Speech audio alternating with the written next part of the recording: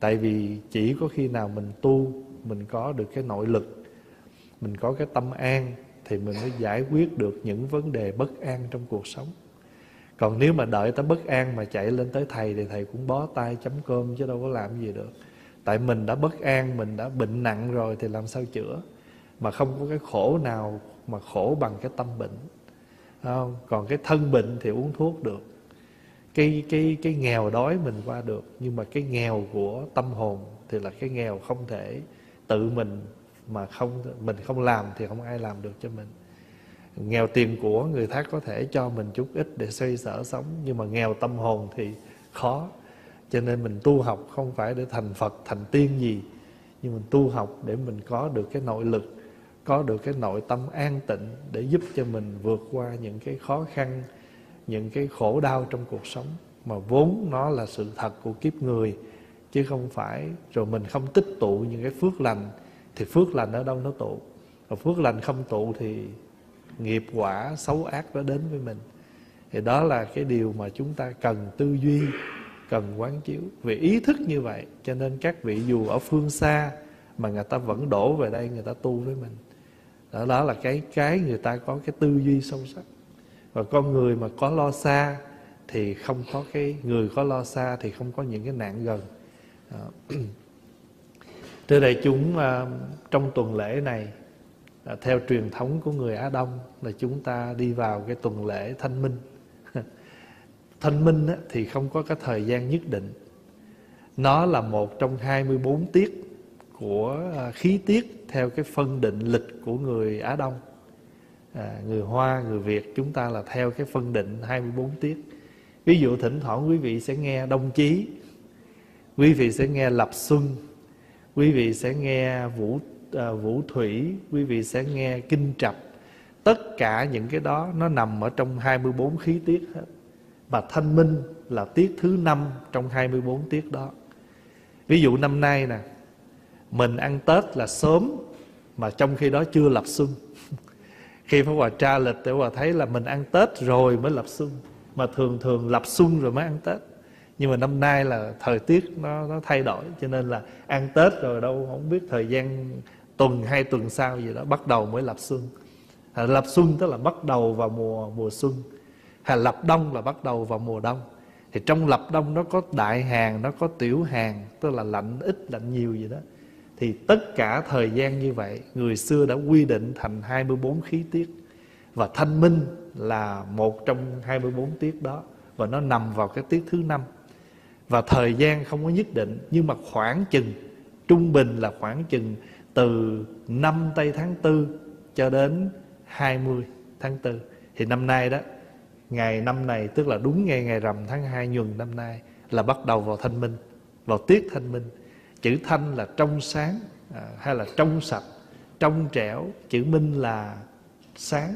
Tức là ý nói một cái thời tiết bắt đầu vào cái khoảng thời gian à, sáng sạch. Giống như mình đây vậy thôi.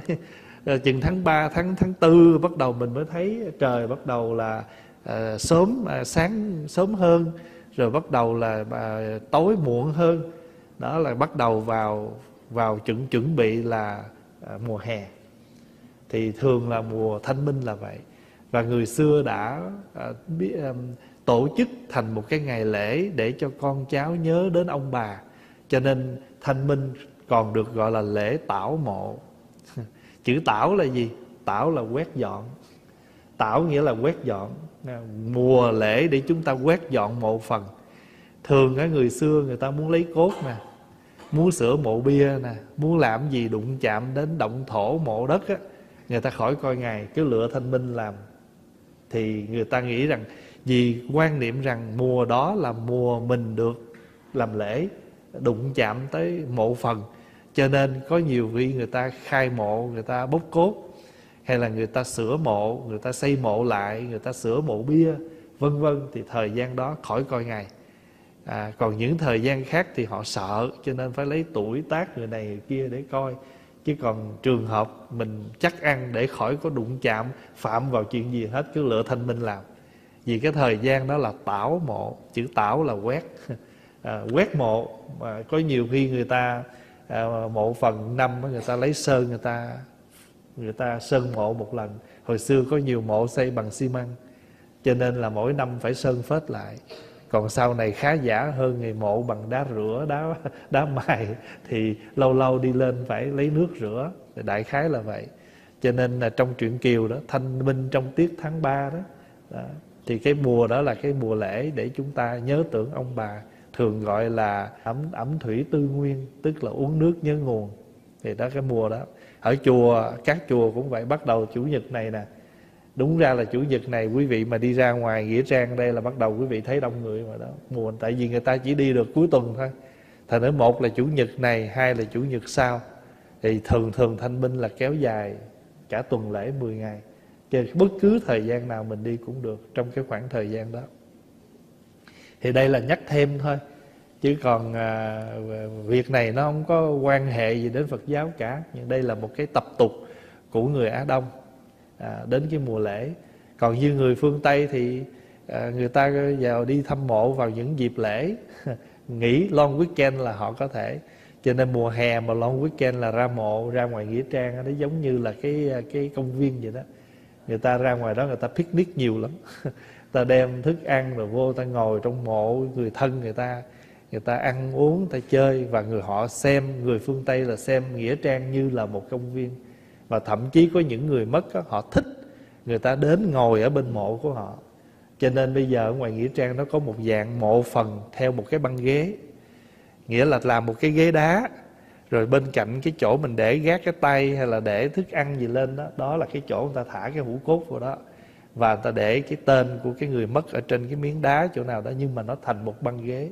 Ai cũng có thể tới ngồi đó chơi với người mất được hết. Mình thì mình sợ chứ người phương tây là chẳng hề. Người ta thấy rất là gần gũi. Thì thưa đại chúng à, hôm nay à, sau một khoảng mấy tuần lễ mình à, nghỉ à, do pháp hòa đi phật sự nhiều thì tuần lễ này mình tiếp tục học kinh pháp cú. Và hôm nay mình học câu thứ 131 ở trong phẩm đao trượng. Đao trượng nghĩa là chúng ta cái phẩm này là tất cả những câu kinh mà Phật dạy về cái cách sống của mình nó không được dễ thương. Chúng ta thường hay thương hại nhau bằng dao gậy à, bằng lời nói. Cho nên tất cả những câu nói đó được gom vào một phẩm và đặt cái phẩm tên là đao trượng. Thì câu kinh thứ 131 như thế này. Chúng sanh cầu an lạc Ai dùng trượng hại người Để tìm lạc cho mình Đời sao không được lạc.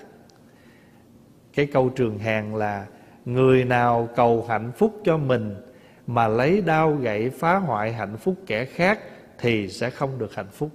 Cái câu trường hàng nghe rất là dễ hiểu vậy mà Người ta mới dón gọn câu này lại Bằng một cái bài kệ, Chúng sanh cầu an lạc, Ai dùng trượng hại người Để tìm lạc cho mình, Đời sao không được lạc. Rồi câu kế là câu 132 Chúng sanh cầu an lạc, Không dùng trượng hại người Để tìm lạc cho mình, Đời sau được hưởng lạc.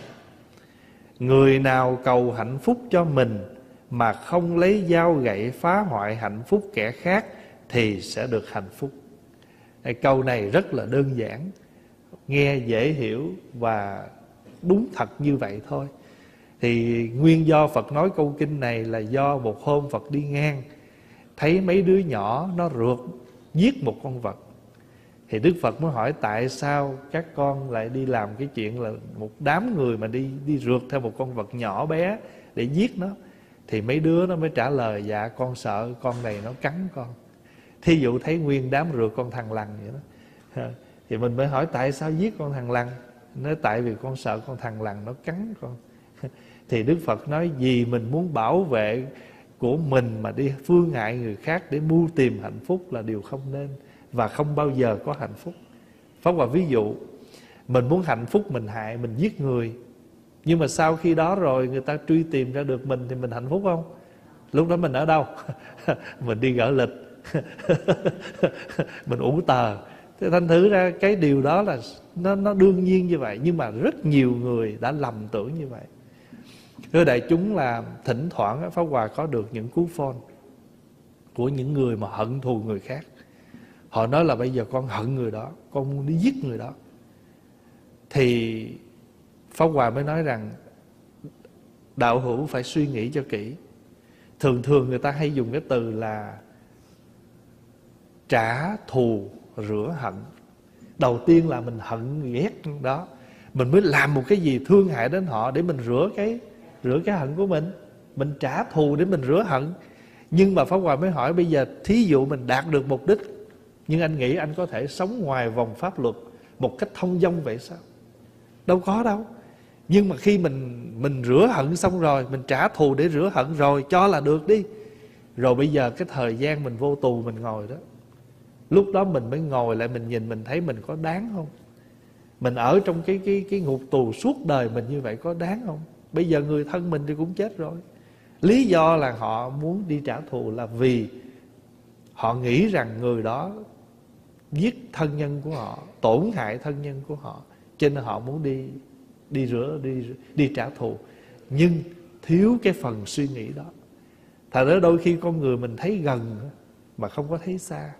Mà người có thấy xa, có nhìn gần, có thấy rộng, có thấy được cái nhân có cái thấy được cái quả, thì cái đó là là quán chiếu. Quán chiếu nghĩa là mình biết tư duy sâu sắc về một vấn đề. Hồi sáng này có một vị hỏi Pháp Hòa, quán chiếu là gì? Sẵn đây Pháp Hòa trả lời, quán chiếu là gì? Chữ quán là nhìn sâu, chữ chiếu là soi. Mình hãy nhìn sâu vào mọi vấn đề và chiếu soi cho nó mọi vấn đề để chúng ta tìm được cái nguyên do. Trên cuộc đời này, tất cả đều có cái duyên do của nó có những người ờ, đến chùa, có những người mẹ 30 năm con không có nhìn, không có nói chuyện tới. Đó là một niềm đau nỗi khổ.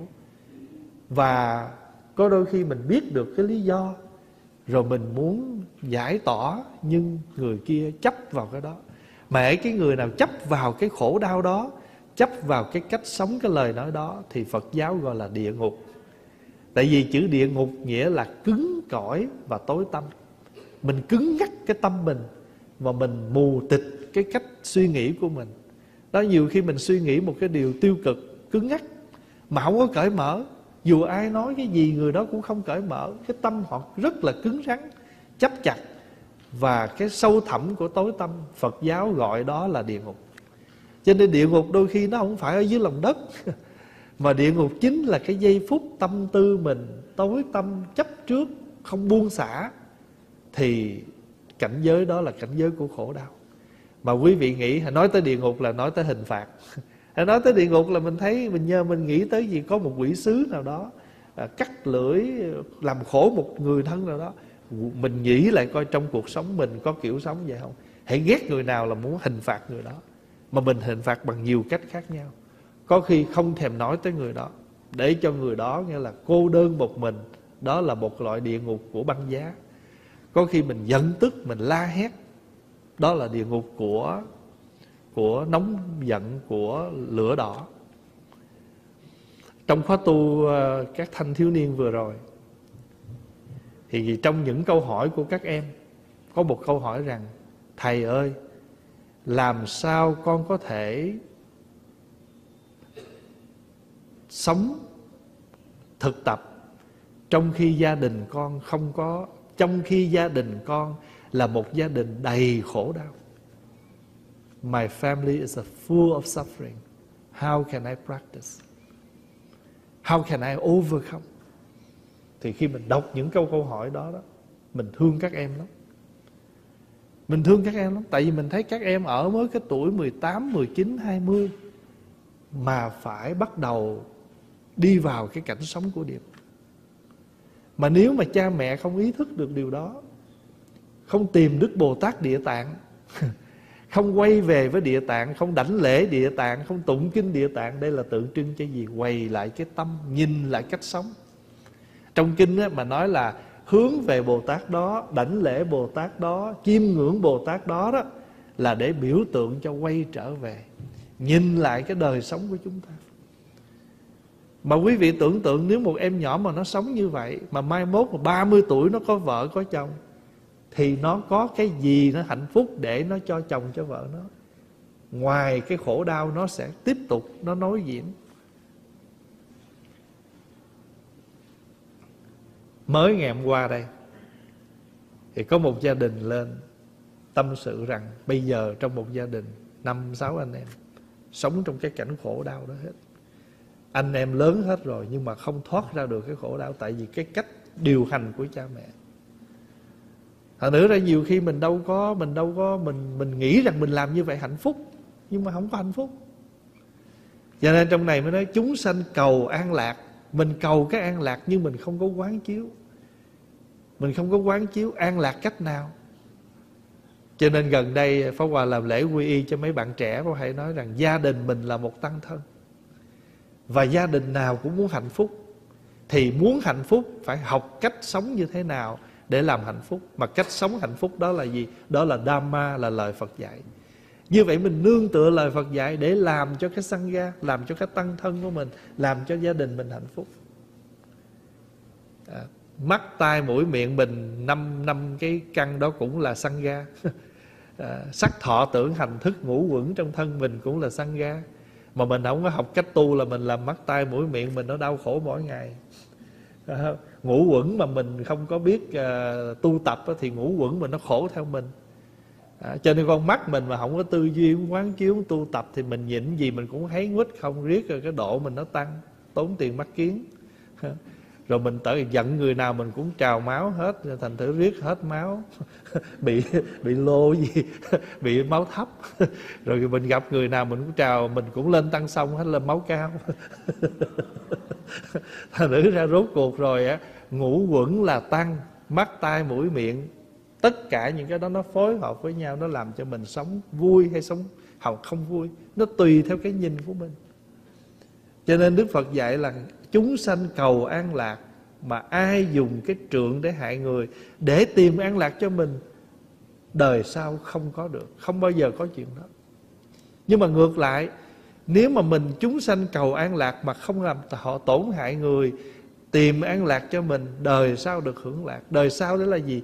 Cái cái mà khi chúng ta làm rồi. Cho nên gần đây Pháp Hòa hay nhắc đại chúng Đức Phật có dạy trong một bài kinh rất hay và rất ngắn. Đức Phật dạy trước khi làm việc gì phải suy nghĩ. Trong khi làm việc đó phải suy nghĩ. Sau khi làm phải suy nghĩ. Phật giáo điều thiện á, phải qua ba thời kỳ. Sơ thiện, trung thiện, hậu thiện. Trước khi mình làm Mình có tư duy không? Nếu mình có tư duy thì việc đó mình sắp xếp đàng hoàng lắm Ngăn nắp lắm đó, bây giờ đơn giản như là trước khi mình một chuyến đi xa hoặc là một lần nấu ăn hay làm gì đó, có tư duy sắp xếp, mọi việc nó có ngăn nắp. Rồi trong khi mình làm, phải suy nghĩ lại với quá trình đã làm, mình rút tỉa kinh nghiệm gì để lập tức chỉnh nó lại cho nó tốt. Vậy thì trong khi làm vẫn phải tư duy nhìn lại. Rồi bây giờ làm xong rồi, làm đã đời xong rồi thì sao? Phải nhìn lại cái quá trình thành tựu của mình nó mang lại kết quả được bao nhiêu và cái tổn hại bao nhiêu để rút kinh nghiệm cho lần sau. Như vậy thì sơ thiện, trung thiện, hậu thiện. À, mà trước khi mình mình sống, mình cũng sống. Có nhiều khi hồi đầu mới tu thiện dữ lắm. Sao tu chập nó hết thiện? Rồi tu càng lâm nó bất thiện. Nhiều khi mình tu, mình đi ngược, mình không hay đó, có nhiều khi hồi mình mới tu, mới tới chùa mình dễ thương lắm. Ai nói gì mình cũng dạ mô phật hết. Dạ xin bác chỉ cho con. Rồi tới chừng nửa chừng cái nói, ê, không được nói tôi nghe. Tôi giờ có lai sinh rồi nha. Thí dụ vậy. Rồi bây giờ nếu như trường hợp mình không có khá nữa đó, mình sẽ bị những cái danh tướng đó làm tổn hại mình. Tôi bây giờ là người xuất gia nha. Tôi bây giờ là đại đức nha tôi bây giờ là sư cô nha tôi bây giờ là thượng tọa nha. Nhiều khi cái danh đó nó sẽ làm cho mình mất đi cái hạnh của mình. Tại vì cái danh nó chỉ là hư danh thôi. Hư là gì? Là rỗng. Ví dụ người ta gặp mình ta kêu dạ chào bác sĩ. Mà mình không có gì biết về y học hết. Thì cũng kêu mình là bác sĩ. Nhưng mà đụng tới mình thì lòi sĩ không thì tại vì sao? Tại vì cái đó chỉ là mình không có cái thực chất của bác sĩ. Thì cái đó là hư danh. Chữ hư là rỗng. Hư hư hư danh nghĩa là cái danh nó rỗng. Mà cái thùng lớn thì nó kêu to. Thùng mà nó rỗng nó kêu lớn lắm. Thời cái người mà càng không có gì hết thì càng thích nổ. Còn cái người người ta có nhiều, người ta giấu dữ lắm. Thường thường mấy người mà mới biết coi bói đó, đụng ai cũng giặt tay coi hết còn mà người mà ta coi bói hay rồi, ta không có đâu. Phải nó phải hỏi, phải hang phải đủ thứ người ta mới coi chứ. Còn mình mới biết được mấy đường chỉ thôi. Là bắt đầu giặt tay, rồi mình nói thế này thế kia, cho nên cẩn thận cái đó. Có đôi khi á, trong cuộc sống á, mình tu tập á, trước khi tu, mình tư duy quán chiếu, mình tại sao phát tâm tu. Rồi khi trong khi quá trình mình tu, có những trở ngại nó đến rồi mình sẽ quán lại tại sao phát tâm tu thì cái cái cái sơ tâm đó, nó sẽ giúp cho mình trong thời gian mà mình ở cái khoảng giữa này, nó nuôi dưỡng mình trở lại. Cho nên sơ tâm không được quên. Sơ tâm không được quên, cái tâm ban đầu tu tập không được quên. Để trong khoảng thời gian mình tu, mình những lúc chán trường mình những lúc thất vọng, mình nhìn lại cái sơ tâm đó để nó làm cho mình tiến bộ vợ chồng hạnh phúc. Có nhiều khi bây giờ mình sống bắt đầu lớn tuổi một chút rồi tật ai cũng sanh hết. Mà mình không thấy tật mình mình thấy tật người kia không à. Ông sanh tật. Bà, thì ông mới nói, bộ bà nhỏ hơn tôi sao? Thành ra mỗi người mỗi tật, phải không? Mà mình không có biết. Nhưng mà những lúc mình hụt hẫng, những lúc mình khó khăn, nhìn lại những lúc mình hạnh phúc thở ban đầu. Cho nên cái thở ban đầu lưu luyến ấy đó ngàn năm đâu dễ mấy ai quên đó. nó nhờ vậy nó nhớ, nuôi dưỡng. Cho nên mình tu cũng vậy. Cái ngày đầu mình tu như thế nào, mình phát tâm như thế nào, phải giữ cái hình ảnh đẹp đó. Phải giữ cái tâm niệm đẹp đó. Để trong quá trình mình tu, làm gì không có những trở ngại, làm gì không có những khó khăn. Và chúng ta phải nhìn lại, nhờ cái vui tâm nó nuôi dưỡng mình. Cho nên trong cái tâm, trong đời sống của chúng ta, cái chuyện mà sống thì phải có mưu cầu hạnh phúc, chuyện đương nhiên. Cũng giống như sống là phải có đi tìm kế sinh nhai, tức là phải có tiền để mình sống. Nhưng nhớ, hãy nhìn lại kiếm tiền bằng cách nào để mình cầm cái đồng tiền đó mình sống mà mình không có bị cắn rứt lương tâm. Có nhiều khi mình hại người đó để mình được bước lên một cái địa vị nào đó.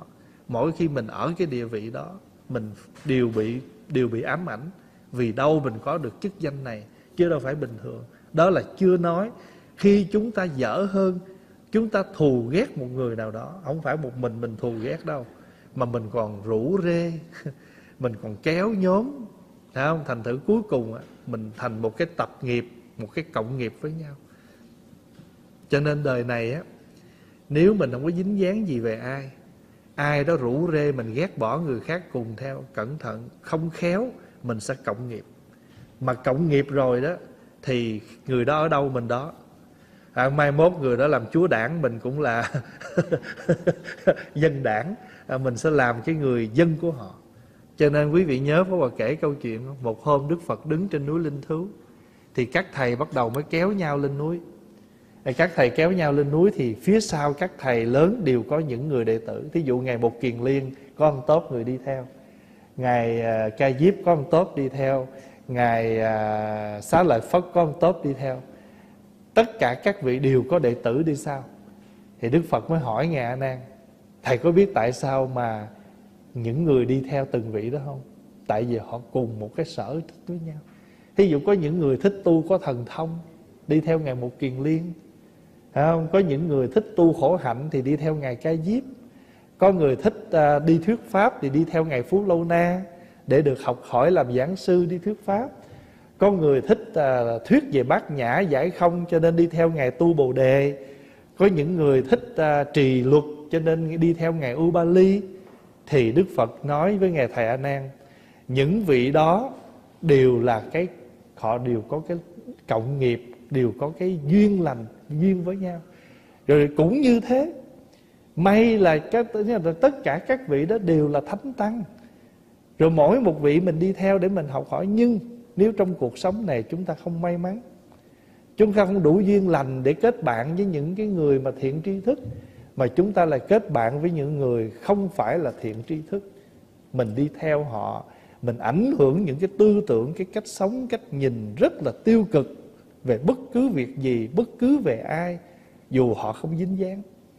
Ví dụ như giờ tự nhiên người ta đi chửi bới hay là làm, đi soi mói những người người ta làm việc thiện, việc lành, tự nhiên mình cũng nói theo. Trong khi đó rồi cái việc thiện thì không làm. Mình không làm thì để người khác làm. Dù thiện cỡ nào, đó là nhân quả họ tạo. Mình đâu có dính dáng gì đâu. Mình nói chi để rồi cộng nghiệp rồi mai mốt á, mình bị một cái họa là mình đang gặp nạn. Ai đó sắp sửa giúp mình sẽ có người tới cản. Rồi rốt cuộc mình á tại sao trong 10 người mà người năm người kia được giúp mà mình tới người thứ sáu lại người ta không giúp? Cái quả đó. Cũng giống như á mình thấy ai thối tâm tu mình phải khuyến khích. Còn nếu như mình đốc vô thêm á mai mốt mình cũng bị một cái quả. Mình tu á không bao giờ đường tu mình nó nó nó trơn tru đâu. Thế nào rồi cũng bị bế tắc. Giống như cái thầy tỳ kheo trong kinh kể mà ông đi tu mà ông bảy lần thất bại đó. Đó cái là cái nhân. Hồi trước á bạn bè ông đi tu ai mà chán chán muốn ra đời ông đốc luôn. Nói, tu không vui về nhà mắc gì để ở đây? Mắc cái quả báo đó. Cho nên mình tạo cái nhân gì nó đều có cái cái cái cái quả hết. Thí dụ đời này mình tu mình hộ trì. Thí dụ thôi bây giờ mình thấy cái người đó người ta làm gì làm, nhưng mà người ta hơn mình được chuyện là gì? Ta dám cạo cái đầu. Ta dám cạo cái đầu, ta dám đi vào chùa ta tu. Mặc dù có thể ta tu chưa giỏi, nhưng mà ta hơn mình được chuyện là ta làm những chuyện khó làm. Thôi bây giờ mình cứ kính trọng ở cái chuyện khó làm đi. Còn họ tu tập được nhiêu đó là cái duyên của họ hưởng. Còn nếu như mình gần được người đó, mình học được cái gì thì mình học. Không được thì học cái phần khác trên cuộc đời này nhất định người ta phải có cái hay, cái dở thôi. Nhưng mà theo lời của ngài khổng tử dạy, thấy cái điều sai của người vẫn phải học. Học cái gì? Học cái đừng bao giờ làm. Trong kinh à, trong kinh à, tư lượng đức phật dạy điều này mà. Nếu như mình soi gương, mình thấy một cái gì vết nhơ trên mặt mình, thì mình phải vui vì mình thấy được vết nhơ và chùi. Nếu không thấy vết nhơ thì vui bằng lòng rằng mặt tôi rất sạch. Nhưng nếu mình thấy một người nào đó không dễ thương mà bao nhiêu người xa lánh, thì mình phải học rằng tại sao người đó bị người khác xa lánh? Vì những cái yếu điểm này chúng ta đừng lập như, y như vậy để đừng mắc vào cái nạn đó. Phật dạy rất rõ ràng. Thành thử có những bài kinh nó rất gần gũi, nó rất thiết thực có cái điều là chúng ta đọc rồi, quên rồi, luôn sót mất. Nhớ câu này trong kinh địa tạng không? Người này nghiệp chướng nó lầm mê. Kinh tụng ờ, ờ, khó mọi bề. Nhưng mà rồi ờ, trong cái phẩm thứ 12 á, tại sao mình đọc kinh điển mà không thuộc gì hết đó tại vì mấy kia nó lấp hết rồi. Hờn giận, phiền não người này người kia lấp hết rồi. Cho nên những cái hay ho nó đi vô cái nó dội ra hết cũng giống như vậy thôi. Người tốt nào muốn tới chơi với mình mà thấy kiểu của mình ta cũng dội đó thôi. Mình cũng vậy thôi à. Mình đi tới người nào, mình gặp người đó hơi hơi, không bình thường, đồ bình thường, mình cũng dội ra vậy. Mình sợ lạnh lắm. Cho nên, cái câu kinh rất là đơn giản nhưng mà rất thật. Có đôi khi mình chỉ biết phương hại người khác để thỏa mãn cái tức giận của mình mà mình quên cái hậu quả. Mình quên cái hậu quả lời nói thí dụ mình giận người nào đó mình tán họ bạc tay. Cái đau trên thân thể nó hết. Nhưng mà cái đau ở lời nói không có hết. Cái đau của tâm hồn nó không có hết. Vì vậy cho nên phải cẩn thận vậy thôi. Mà phật á, là người thầy. Thấy cái gì đúng chỉ cho nó đúng. Thấy cái gì sai nói cái quả cho mình nghe. Mình có làm được thì mình lợi lộc mình hưởng cũng giống như người ta chỉ cho mình đi làm ăn vậy thôi. Chỗ nào làm được ta nói. Rồi cái câu đơn giản như vậy. Người chúng sanh cầu an lạc ai dùng trượng hại người để tìm lạc cho mình đời sau không được lạc? Chúng sanh cầu an lạc không dùng trượng hại người để tìm lạc cho mình đời sau được hưởng lạc. Cho nên trong tâm của mình đó, muốn bớt được cái đó mình thể có thể tập cái tâm buông xả. Buông xả tâm an vui. Nếu mình buông xả tâm mình được an vui. Buông xả tâm an vui. Buông xả miệng mỉm cười. Buông xả lòng lòng tươi mát. Buông xả thấm tình người. Đơn giản vậy thôi. Giống như cái bài hát của bài hay hay hát cho đại chúng nghe vậy đó. Ai nói gì thì mình cứ nghe. À, hay là hay là cái bài mà ai nói gì ai nói chi đó mỉm mỉm cười cho cơn giận nó được nguôi. Mà cơn giận mình nó nguôi thì gương, gương mặt mình nó tươi. Hãy cái tâm mình yên là cái tướng mình nó hiện khác rồi. Cho nên á tạc nhật dạ so tâm kim triêu bồ tát diện ngày hôm qua là tâm của dạ so sáng hôm nay là mặt của bồ tát. Chuyện đó có. Ngày hôm qua mình còn phiền não quá. Sáng nay mình giải quyết được rồi tâm mình nó trở lên sáng cho nên dạ so với bồ tát nó chỉ cách nhau một sợi tóc thôi. Hễ mà mình còn mê là tâm của phàm phu mình tỉnh là tâm của bậc thánh. Cho nên hiền thánh nó gần nhau. Các vị hay nghe nói uh, con uh, kính lễ các bậc hiền thánh. Người nào mà đạt tới cái chỗ cao ráo thì gọi là thánh. Mà hễ người nào mà còn ở trong khóa trình tu gọi là hiền. Ở ngoài bắc á khi mà các thầy, các cô mà chuẩn bị lên thọ giới để trở thành một tỳ kheo thì người ta hay để một cái câu ngay cái ngay cái đàn truyền giới đó. Đến nơi cao thắng. Cao thắng là gì? Cái chỗ cao mà nó cao rốt ráo, cao viên mãn. Chứ không phải như cái cao của mình nghĩ là cao 5 mét 10 mét 20 mét. Cái cao đó nhiều người người ta quay không chịu nổi, người ta rớt à ta lên ta quá, ta chống mặt, ta rớt. Cái cao mà nó có thứ lớp của thước tất cái cao đó chưa phải là cao thắng. Cao thắng đây là gì? Là cái tâm của mình. Bắt đầu kể từ giây phút này, mình phải xả đi những cái tâm bình thường của con người để đi tới được cái tâm cao thượng của một bậc tỳ kheo.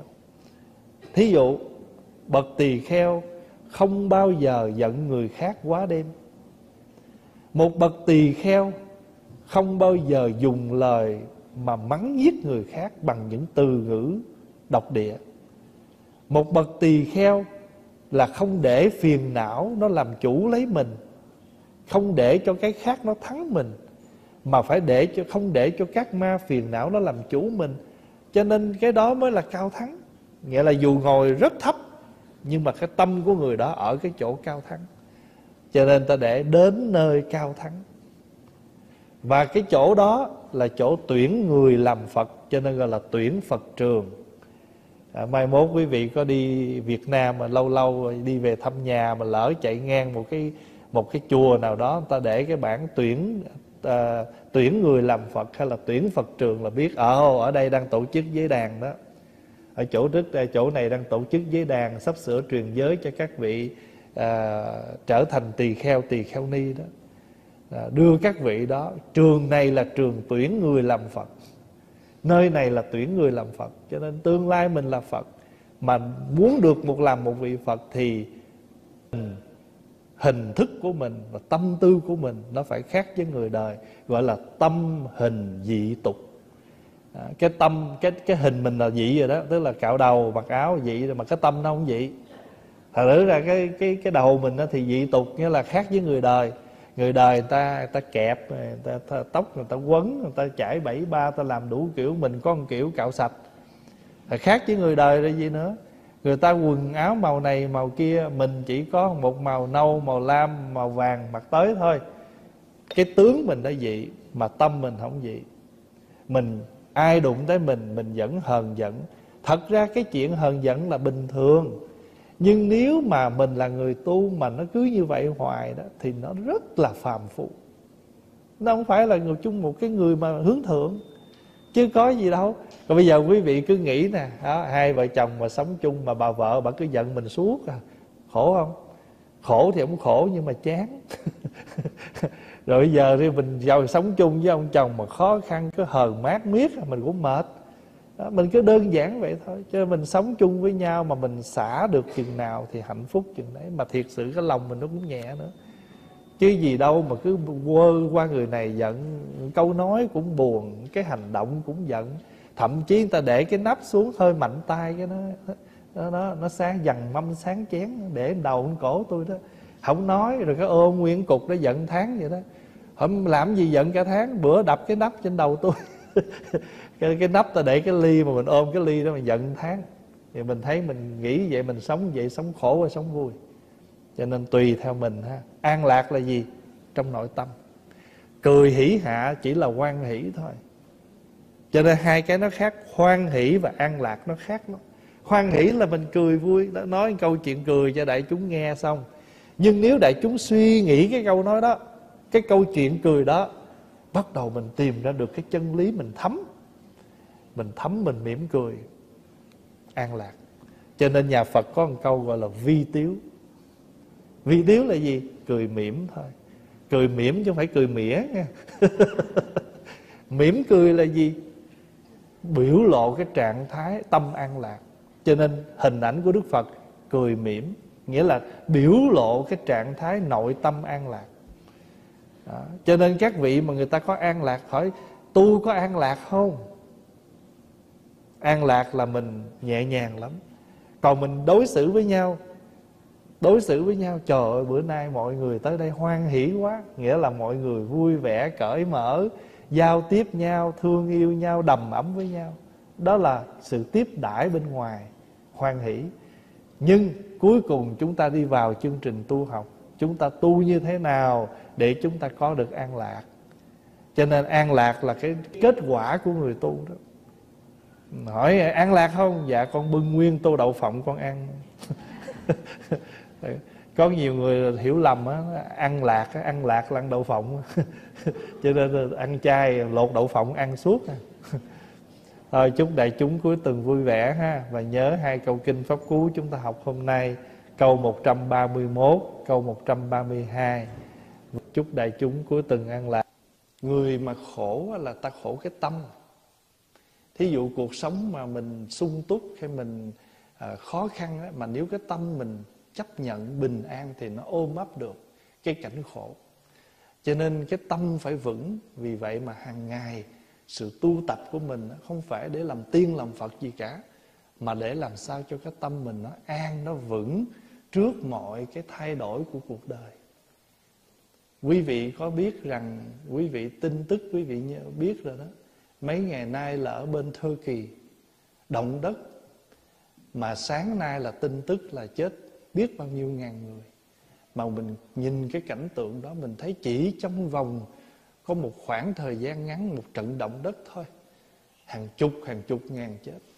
Thế thì cuộc sống của chúng ta, người thương của chúng ta và chính bản thân chúng ta, mình không biết. Giây phút tới sẽ chuyện gì sẽ xảy ra và nếu mà nó thay đổi như vậy mà nếu cái tâm mình nó không vững, thì mình khó chấp nhận lắm, khổ đau lắm. Quý vị biết là mỗi một ngày chùa nhận không hàng vài chục cái email, mà 99% những email gửi vô chùa là khổ đau hết. Toàn là những chuyện khổ đau trong cuộc sống. Mà nhờ quý thầy chia sẻ mà một mình Pháp Hòa làm sao giải quyết hết những email như vậy trong một ngày.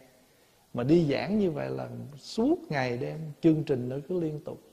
Mà mà về tới mình bấm một cái là mail nó nhảy nhảy nhảy vô. Là phải ngồi mà coi từng cái mail. Cái nào mà quan trọng nhất là phải trả lời trước. Như vậy thì quý vị biết rằng ngay cả mình nó tâm không vững, mình cũng dễ bị những câu chuyện khổ đau đó. Cho nên những người làm counselor, social worker, các vị đó mà không có tu tập thì cũng sẽ dễ bị lung lay. Cũng giống như mình thôi, gần người bệnh mà không uống thuốc á, chừng vài ngày là chữa, chừng vài người sau là mình bệnh luôn.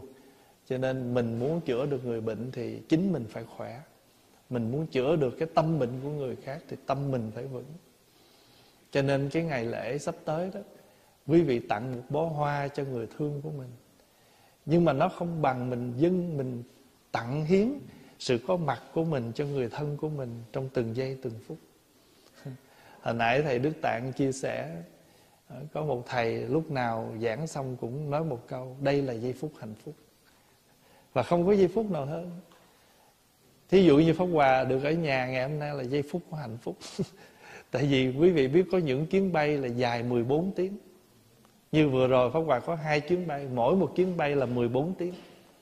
Bay đổi chuyến bay ba lần mà nếu như mình đi mà đúng giờ thì còn đỡ, mà nếu nó bị delay là công việc nó sẽ đình trệ lại hết. Và sắp tới đây là sáng nay là nhận một danh sách tất cả công việc sắp tới trong một ngày một ngày Pháp Hòa sẽ bao nhiêu chỗ, bao nhiêu việc phải làm. Nhưng mà không có vì vậy mà mình sẽ thấy khó chịu, tại vì mình đem cái trái tim của mình đi vào trong cái công việc của mình.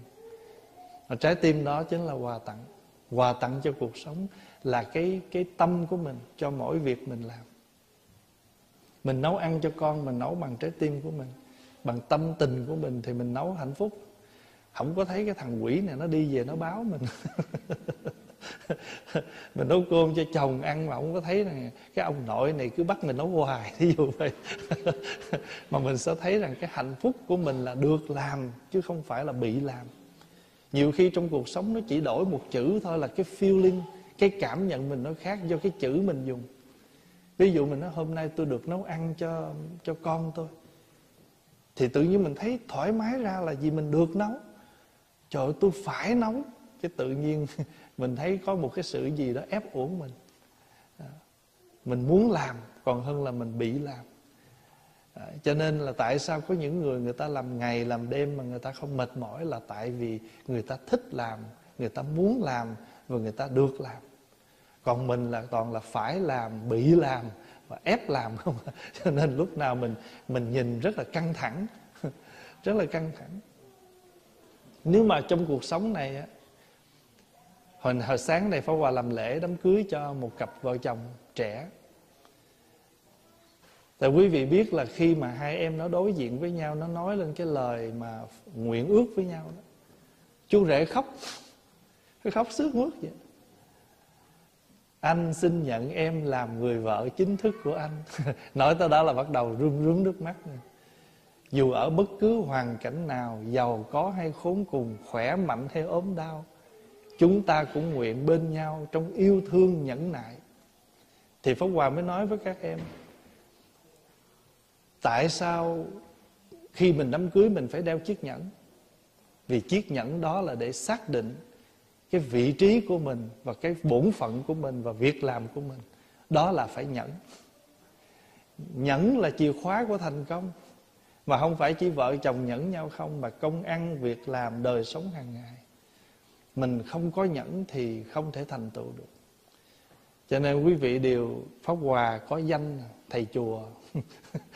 Phải rồi trụ trì thì phải làm bổn phận của trụ trì phải làm bổn phận của một người tu quý vị có gia đình, có chồng, có vợ, mình có danh là vợ, phải sống đúng với cái bổn phận của vợ. Vì danh phận mà. Ngồi đây ai cũng có danh phận hết á. Chứ không ai còn không có danh phận hết. Danh tôi là một học sinh, tôi vô trường, tôi phải làm đúng bổn phận của một học sinh, là tuân thủ những luật lệ trong nhà trường. Cho nên hệ trên đời có danh, có phận, mà mình đôi khi ham danh mà không muốn có phận. muốn có danh mà không không làm tròn cái bổn phận của mình. Vậy bổn phận của mình người tu thì mình phải làm việc của người tu. Mà việc của người tu là trên cầu giáo lý của Phật, dưới dùng giáo lý đó để giúp đỡ cho mọi người. Nói một câu nghe rất dõng dạc và văn chương. Thượng cầu phật đạo hạ hóa chúng sanh. Trên cầu cái giáo pháp của phật, dưới cứu độ mọi người. Chúng con là đệ tử của như lai, xin nguyện suốt đời dấn thân cho đạo. Chỗ nào đạo pháp cần, chúng con tới. Chúng sanh cần, chúng con đi. Không nề gian lao, chẳng nài khó nhọc. Đó là những cái lời mà người xuất gia phát nguyện. Mà đó cũng là lễ của tình, cái đó cũng là thể hiện tình thương. Cho nên người xuất gia có thể hiện tình thương, có Valentine Day không? Có chứ tình yêu của mình là chúng sanh, là mọi người, chứ không phải là một đối tượng. Mình thương trong cuộc sống của mình là có có năng, có sở, nghe. Có thương và có người được thương. Mà mình không biết cách thương ta nói thôi thôi, tôi bị thương chứ được thương gì. Tại mình thương mình không biết cách. Mà cái người thương đó mà làm trật ý mình, cái là mình giận cuốn cuồng lên. Đấy. cho nên thương mà theo kiểu chúng thế gian là mình có một đối tượng người tu cũng có đối tượng, mà đối tượng là mọi người, không có phân biệt. Hôm nay mình à, tiếp tục học kinh pháp cú. Hôm nay mình học đến phẩm à, thứ 10 đó là phẩm đao trượng, có khi gọi là phẩm hình phạt. Phẩm này gọi là phẩm hình phạt. Thưa đại chúng à, kinh pháp cú là một bản kinh được à, thu những cái lời dạy của phật qua những cái câu kệ rồi chia ra thành từng cái nhóm. Thì những cái câu kinh này nó liên hệ tới những vấn đề xảy ra trong cuộc sống mà do sự hành hung. Vì vậy cho nên những câu kinh này được gom lại thành một cái phẩm tên là phẩm hình phạt có khi gọi dịch là đao trượng tại vì trong cuộc sống này á, có khi mình mình gây gỗ với nhau bằng lời lẽ. Có khi mình gây gỗ với nhau bằng lời lẽ xong rồi mình đi tới hành động là hành hung. Quý vị biết ở trong phi trường nè, ở trong bưu điện nè, ở những nơi công cộng thường xảy ra những việc gọi là chửi bới, hành hung. Mà nó xảy ra nhiều đến mức độ là những nơi đó người ta phải để những cái bảng mọi cái sự verbal abuse, violence đều được kết là tội. Người ta phải để cái bảng như vậy để ngăn chừa, ngăn ngừa những người mà có cái tâm nóng nảy, chửi bới, hành động. Nhiều lúc pháp hòa đi phi trường ờ, đi ờ, bưu điện đứng xếp hàng mà thấy một người vô gửi hàng mà gây lộn với cái người làm ở trong đó tại vì họ chờ đợi lâu hoặc là uh, họ expect là cái đó giá rẻ rồi giờ cân lên giá nó mắc gì đấy rồi chửi um sùm lên hết rồi làm loạn ở trong cái bưu điện. Cho nên những cái nơi mà rồi nhiều khi đi qua hải quan á, đi qua security rồi cái người kia họ mang một cái ống gì đó một hơn 100 ml mà luật là không cho mặc dù mình xài một cái kem đánh răng hơn 100 ml nhưng mà mình xài còn có một chút à. Mình nghĩ một chút này không sao, nhưng mà trong luật nó mở ra, nó thấy cái số lượng trên cái kem đó là nó dẫn tính là không được. Thế là bắt đầu người kia nóng lên vì họ nghĩ rằng mặc dù cái kem này 100ml nhưng tôi đã xài nó còn có một tí thôi, thì đâu có được gọi là số lượng. Họ nói không, họ dẫn tính theo cái số mà đã ghi ở trên cây kem. Là bắt đầu coi chuyện. Do là hình phạt cho nên trong cuộc sống của mình một là gây gỗ, mà gây gỗ xong rồi có nhiều người kèm được thì thôi, không kèm được, đưa đi tới gì? Đưa tới hành hung. Thì trong cái đời sống thời đức phật, nó cũng có những việc như vậy xảy ra. Cho nên gọi là đau trượng hay là hình phạt. Trong số những người tu, cũng có những người nóng nảy, chưa chuyển hóa được cái tính nóng nảy của mình, đưa tới hành động đánh lộn. Hồi nhỏ mấy chú tiểu có cái chớp nè mỗi lần đánh lộn lỗ lắm. Bị người ta nắm chớp. Đầu trọc đánh lộn mà bị ta nắm áo. Mấy chú tiểu hồi nhỏ mà có cái chớp này là là lúc nào đánh lộn cũng bị lỗ. Cái chớp ta, ta nắm gọn lắm không? Mà cái chớp đó để dài lắm. Để dài rồi dắt lỗ tai nè đến khi nào mà mình thọ sa di giới rồi mình mới được chạo cái chõm đó. Mà cái chõm đó, đó là để từ lúc mình à, vô tu dưới 15 tuổi Thậm chí có những chú để cho tới khi mình 20 tuổi thọ tỳ kheo Lên làm một vị thầy, một vị sư cô mới cạo cái chõm đó. Cho nên nó dài lắm. Rồi cái đi đi ngủ dậy cái nó bồm xồm vậy nè. Cái sáng ra cái có chai dầu dừa đó. Ở Việt Nam không có gel Không có hairspray, có dầu dừa thôi. À, Tho dầu dừa vô tay rồi vuốt vuốt đi, đi có cây cái gì cái cái lược nhiều khi à, tức nhau quá phải không? Ngủ canh ngủ cái lấy cái chõm cột vô đầu giường mấy cái thành giường. Sáng ngủ dậy mà nghe chuông báo có bật ngồi dậy nó rít cái đầu lại cái bóp vậy nghịch đến mức độ vậy. Mà thật ra là cũng do tức giận với nhau. Nhưng mà nó vui vậy thôi. Người tu là không có hận, không có giận qua đêm. Tăng hận bất cách túc. Người tu không có giận qua đêm. Nhưng mà giờ mình nói mình nói, tôi đâu có giận qua đêm, tôi giận qua năm không à. Tức là một năm tôi còn giận, hai năm tôi còn giận. À. thì cái câu chuyện này nó xảy ra đó là cái thời phật á là có sáu vị tỳ kheo. Thì sáu thầy này đi thành một nhóm với nhau. Và chuyên môn quậy làm những cái điều xấu trong trong tăng đoàn. Cho nên trong kinh luật thường dùng sáu vị này gọi là lục quần tỳ kheo. Lục là sáu quần là một nhóm. Một nhóm tỳ kheo sáu người mà trong luật á, ai mà học kinh phật học luật giới nhắc tới sáu vị này thì đều biết đây là sáu vị mà chuyên môn làm những việc bậy bạ ở trong tăng đoàn để rồi từ đó những giới luật được chế chế định. Thì có một hôm nọ, có một ờ, số các thầy trải giường, chuẩn bị đi ngủ, trải chỗ ngủ rồi xong thì sáu vị này đi tới, đuổi mấy vị đó ra. Nói là tụi tôi là lớn, tụi tôi phải sử dụng cái chỗ này mà trong khi đó làm thì không làm, mà tới thì tới sau, mà người ta lót ổ rồi vô vô hưởng. Thì mấy thầy kia tuy rằng nhỏ, nhưng mà thấy bất công, cãi lại. Cãi lại thì mấy vị này ỷ mình lớn, có sức mạnh đánh mấy vị nhỏ. Thì cái chuyện này đưa lên tới phật. Thì đưa lên tới phật thì từ đó trong luật giới của các thầy mới có một câu là không được đánh lộn. không được hành hung đánh lộn thì nhân cái cơ hội đó Phật mới dạy câu kinh Pháp Cú này. Đây là Pháp Hòa đọc cho đại chúng nghe hai câu. Câu thứ 129 ở, ờ, Thuộc câu đầu của Phẩm Đao Trượng. Mọi người sợ hình phạt Mọi người sợ tử vong.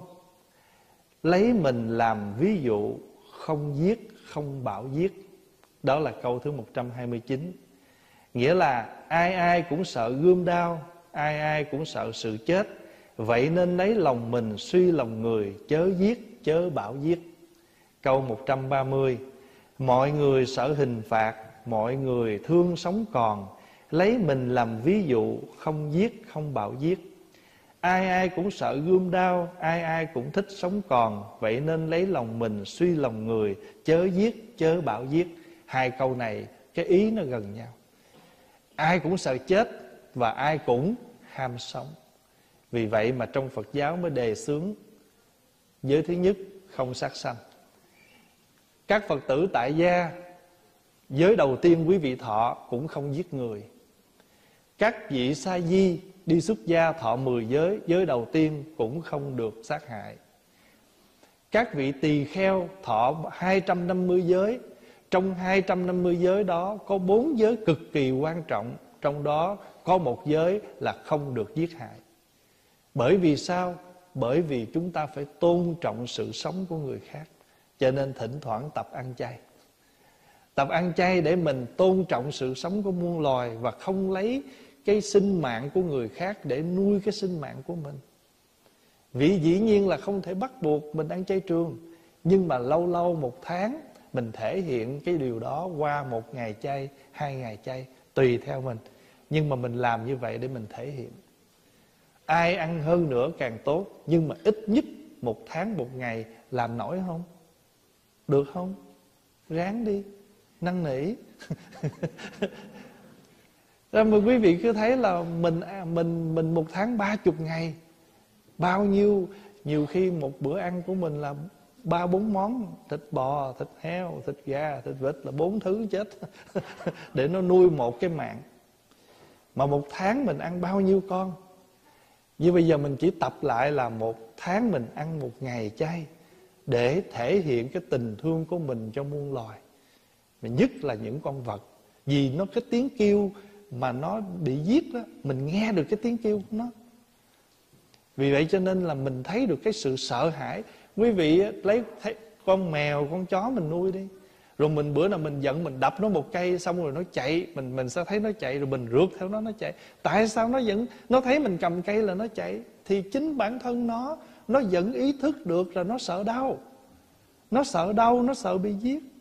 Mà nếu quý vị có nhìn những cái hình ảnh mà con vật nó đi tới cái lò sát sinh mà quý vị thấy nó quỳ xuống nó lạy rồi mình sẽ cảm xúc nếu ai có coi những cái cái phim, những cái thước phim đó rồi sợ thấy rùng mình, con vật nó vẫn ham sống, sợ chết, nó sợ đau. Con người mình cũng sợ đau. Mình, cho nên trong này mới nói lấy mình làm ví dụ. Lấy mình làm ví dụ. Mình sợ đau thì người khác cũng sợ đau. Mình sợ chết thì người khác cũng sợ chết. Nhưng mà con người chúng ta khi mà giận lên thì chẳng cần biết gì nữa hết con mình mình cũng đập tới vợ mình cũng đập tới thậm chí chồng mình mình cũng quánh luôn. Nữ ra mình giận lên rồi thì ai mình cũng đánh hết. Thậm chí có những người con bất hiếu hơn Đánh cha, đánh mẹ nữa Cũng có. Tại sao? Tại cái cơn giận tức của mình. Vì vậy mà Sân si, sân hận là một cái tâm hành rất xấu Mà nó nằm ở trong ba cái độc Trong 10 cái độc Trong 10 cái phiền não căn bản nó nằm ở cái căn bản phiền não thứ hai, Đó là sân. Sân nguy hiểm lắm. Hồi nhỏ Pháp Hòa nhớ có cái cô đó đó, Cô kêu con của về ăn cơm thôi. Thường quý vị nhớ ở Việt Nam mà nấu cơm xong kêu mấy đứa nhỏ ngoài sớm ngoài ở nó chơi ngoài sân, rồi kêu nó về ăn cơm. Kêu nó về ăn cơm, nó mê bắn bi, nó cứ ngồi nó bắn hoài, nó không vô. Nó dạ dạ dạ rồi nó không vô bà tức quá bà lấy nguyên cái cây củi mà đang nhúm lửa nấu cơm bà lùi vô trong người nó. Thành thử cuối cùng nhỏ bị thẹo, rồi tay chân nó co quắp, vợ lớn rồi nó thành có tật. Thì mình thấy rằng khi nào mình, mỗi lần mình nhìn đứa con mình thì mình sẽ hối hận vô cùng. Cho nên trong cuộc sống, rồi có lần cái vị đó tức một người con, đem đứa con mình ra cởi truồng, cởi quần, cởi áo nó ra để trước cửa nhà đánh nó hàng xóm bàn quan thì lại xong cái bữa đó rồi, nó vô, nó tự giận, nó chết.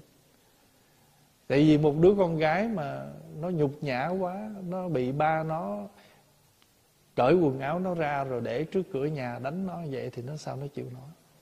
Thật ra do cái hận giận của mình, mà khi mình giận người ta thường nói ngon quá thì mất ngon, mà giận quá thì mất khôn. Giận quá thì mình làm, mình nói những điều không có đúng cho nên trong này nói, mọi người sợ hình phạt. Hình phạt là gì? Những cái cách mình đối xử với nhau. Tiếng anh dịch là punishment. Cái cách mà mình làm khổ nhau, gọi là hình phạt hết chẳng hạn nha, mình giận một người thân của mình mình hình phạt họ bằng cách là không nói chuyện với họ. Đó là một hình phạt. Rồi mình giận con nít mình giận quá, mình kêu nó úp mặt vô tường là một hình phạt. Mình bắt nó quỳ gói là một hình phạt rồi lớn lên, những người lớn với nhau là mình hình phạt nhau bằng cách là bỏ mặt, không thèm ngó tới, là hình phạt. Rồi có khi mình chửi nhau, vân vân. Cho nên trong cuộc sống là rất nhiều thứ hình phạt. Mọi người sợ hình phạt, mọi người sợ tử vong. Lấy mình làm ví dụ. Bây giờ mình lấy mình ví dụ. Mình không thích cái đó, đừng làm cho người khác. Khổng tử dạy cũng rõ như vậy. Đức khổng tử cũng dạy như vậy kỹ sở bất dục. Vật thi ư nhân. Đức khổng tử dạy như vậy. Kỹ sở bất dục là những gì mình không muốn. Vật thi ư nhân là đừng làm với người. Đừng làm như vậy với người. Chữ vật là đừng. Mình đừng làm cái việc đó. Vật thi ư nhân vì kỹ sở bất dục. Những gì mình không thích mình không thích nói những cái lời khó nghe nhưng mình lại nói với người khác những lời khó nghe. Có nhiều khi mình lấy cớ nha nó chửi tôi như vậy tôi phải chửi nó lại. Thành đứa ra cái lời nói của người kia và cái lời nói của mình nó cũng giống nhau thôi nó đâu có khác. Mình làm như vậy để làm gì? Để mình biết coi trọng mình biết coi trọng người khác mình coi trọng cái tình người. Ở trong uh, ở trong ờ, một cái bài à, kệ người xưa để nhất thiết chúng sanh vô sát nghiệp thập phương hà xứ động đao binh gia gia hộ hộ đồng tu thiện à, thiên hạ hà sầu tất thái bình. Mình dịch ra cái bài đó là tất cả chúng sanh không nghiệp sát mười phương nào có động đao binh? Nhà nhà, chốn chốn đều tu thiện, lo gì thiên hạ chẳng thái bình. Nhất thiết chúng sanh vô sát nghiệp, tất cả chúng sanh không có nghiệp sát. Mười phương thế giới này làm gì có chuyện binh đao? Nếu nhà nhà, chốn chốn đều viết tu thiện, thì lo gì thiên hạ không thái bình? Mà nhiều khi á đâu có chiến tranh tới cả đất nước đâu. Nội chiến tranh trong gia đình mình thôi. Mà chiến tranh hoài không hết. Phải không? Mình sống với nhau 10 năm là chiến tranh đủ 10 năm. Mình tưởng đâu là chiến tranh giống như là nga với ukraine chừng hai tuần, giờ kéo dài hoài không hết. Rồi nhiều khi mình thấy một cái chiến tranh đó bên ngoài vậy đó mình mình quên rằng trong đời sống hàng ngày của mình, hỏng chừng trong gia đình mình, giữa hai ông vua, hai đất nước cũng có hai chiến tranh rồi cuối cùng dân tình bị khổ là mấy đứa nhỏ đó. Thật ra mình không có cẩn thận thì mình sẽ làm khổ dân tình của mình, chính là những người thân của mình. Chờ hồi sáng mà thường là trong các cái lễ cưới, Pháp Hòa đều nói, đừng có thấy hạnh phúc của mình là tách biệt với hạnh phúc của gia đình. Hạnh phúc của mình là hạnh phúc của gia đình. Niềm vui của mình là niềm vui của tất cả quý vị cứ thấy thí dụ nè, mình đi vô trong chùa mà gặp thầy trụ trì, các thầy, các cô vui vẻ, cái mình cũng thích. Rồi phật tử người ta tới chùa với nhau, người ta vui vẻ, mình cũng thích. Nhưng mà nếu vô đó mà ai cũng lạnh lùng, thì sao mình dám tới? Phải không? Cho nên ai cũng vậy, ai cũng thích sự ấm cúng cả. Vì vậy mà thường ở trong chùa mình thắp đèn. Cúng phật. Đèn á ngoài ánh sáng ra nó còn tỏa ra sức nóng. Cho nên một ngọn đèn mà nó nói lên hai ý nghĩa là từ bi và trí tuệ. Trí tuệ là tỏa sáng từ bi là chất ấm. Mình đến cái nhà nào mà nó, nó ấm cúng mình cũng thích. Ấm cúng đây không phải là ta mở hít nhiều mà người ta bày tỏ cái sự chào đón niềm nở của người ta. Ấm cúng còn mình tới chỗ đó sao mà nó lạnh lùng quá thì mình không thấy, mình không cảm thấy thích. Cái gia đình mình cũng vậy thôi. Cho nên làm sao phải tỏa nhiệt? Phải tỏa nhiệt, phải tỏa sáng. Vì vậy mà hàng năm cứ đầu Tết là cúng Phật Dược Sư thắp đèn để nhắc nhở mọi người, năm mới rồi, lỡ mình sống lạnh lùng quá, đã đến lúc phải thay đổi. Lỡ mình sống tối tâm quá, đã đến lúc phải thay đổi. Cho ánh sáng tâm thức của mình nó tỏ lên phải nhận rõ cái hoàn cảnh của gia đình, của con cái, của người thân và đôi lúc chính bản thân mình.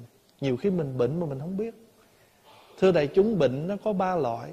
Bệnh thân, bệnh tâm lý, bệnh nghiệp. Có đôi ly mình không phải bị thân bệnh, bị tâm bệnh, bị trầm cảm, bị u uất.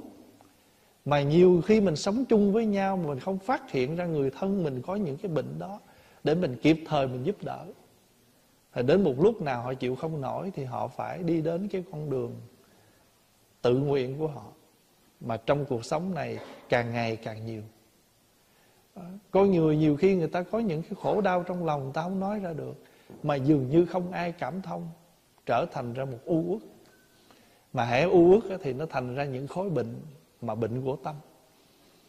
Mà những người xung quanh sống mà mình không để tâm mình nhận diện mình không thấy được để mình giúp.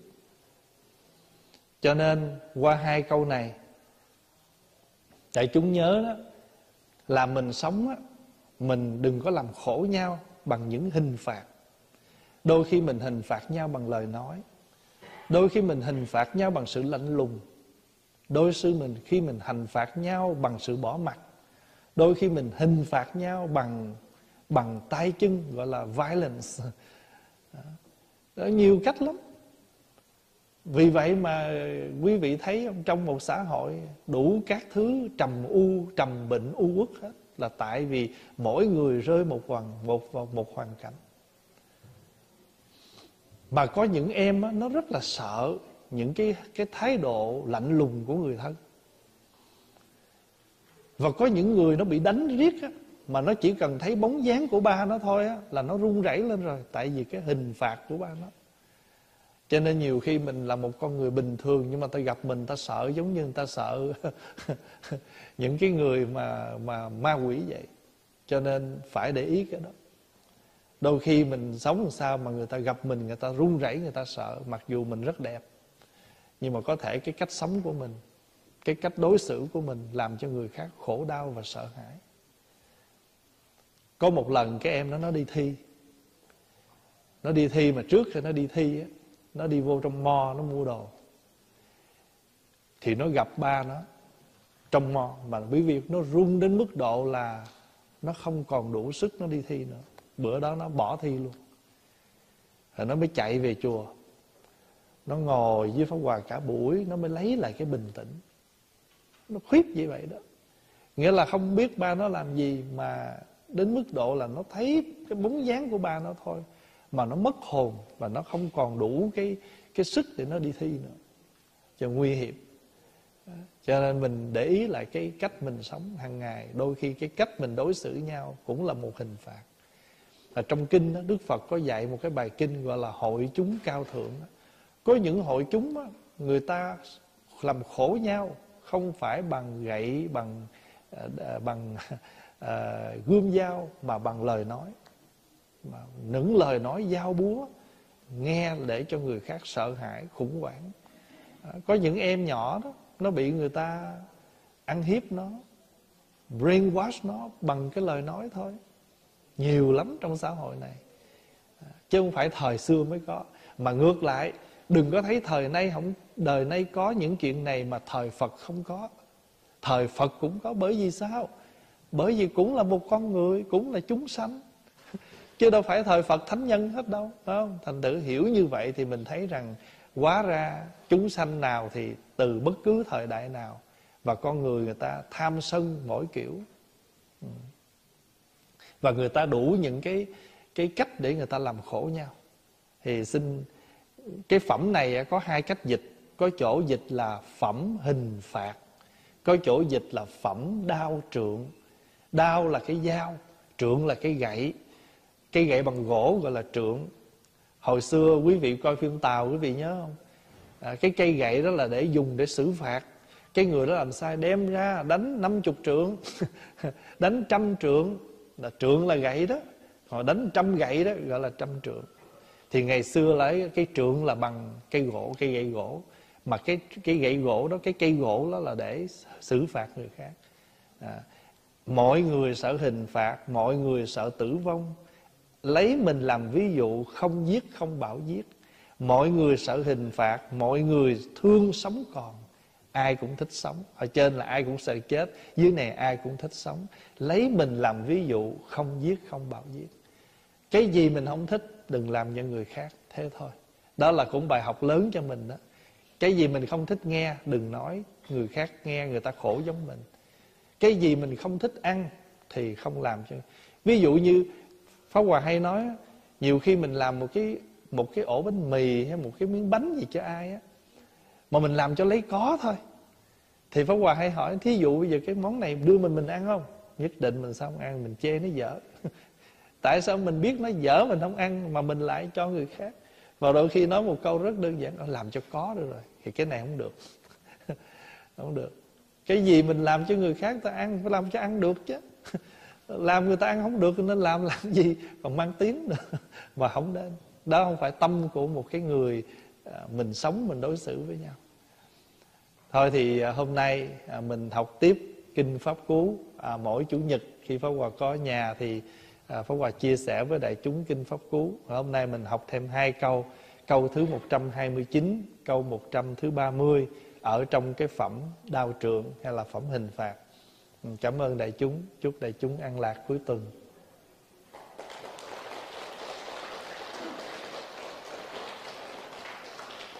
Rồi bây giờ à, mời đại chúng à, quý vị cùng đứng lên sát Phật. Sau đó thì quý vị à, xuống dùng cơm trưa. Thì cũng xin thưa như thế này à, Sẵn ở đây đông đủ đó. Thì bắt đầu từ tuần lễ này à, Mình sẽ không còn dùng những cái dĩa bằng giấy nữa mà chùa sẽ dùng những cái dĩa thường ăn cơm đó để làm cơm cho đại chúng dùng. Sau khi đại chúng dùng cơm xong thì ở ở chỗ cái counter lấy thức ăn bên hông đó có mấy, mấy cái thau rổ một bên để mình để đũa muỗng một bên mình để dĩa. Rồi ban nhà bếp sẽ mang vào bên trong để rửa. Lý do là vì á, sắp sửa tới đây mình sẽ không còn người ta không có chính phủ không có cho sản xuất những cái dĩa bằng phôm nữa là để bảo vệ môi trường.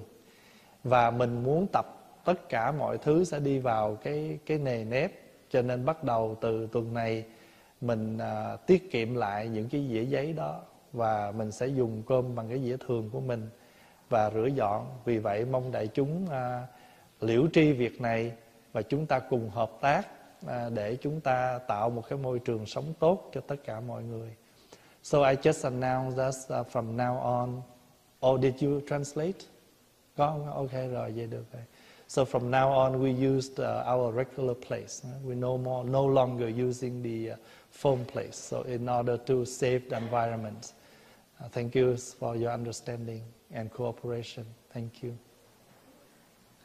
Người ta muốn giàu có, người ta phải thờ ông thần tài. Tại vì người ta thờ vậy, người ta ý nghĩa là ta tự người ta cầu mong thờ cái ông đó thì ông đó phù hộ cho mình có được gì, có được tiền của, vân vân. Trong đệ hàng đệ tử của Đức Phật á, ở trong kinh tăng tăng nhất à, A Hàm á, Đức Phật có list ra một lô các vị đệ tử của Đức Phật mà có những cái biệt tài, có những cái đặc biệt mà Đức Phật gọi là bậc nhất. Xưa nay quý vị thường đọc cái quyển sách có cái tên là 10 vị đệ tử lớn của Phật, phải không? Thì mình nhớ là 10 vị đó là ai? À, thí dụ như là khổ hạnh bậc nhất là ngài Maha Ca Diếp, thần thông bậc nhất là ngài Mục Kiền Liên, trí tuệ bậc nhất là ngài Xá Lợi Phất, thiên nhãn bậc nhất là ngài A Na Luật, trì giới bậc nhất là ngài Ubali, rồi gì nữa giải không bậc nhất là ngài Tu Bồ Đề, phải không? Thì như vậy thì có phải Đức Phật đã chủ động đưa ra 10 vị này hay không?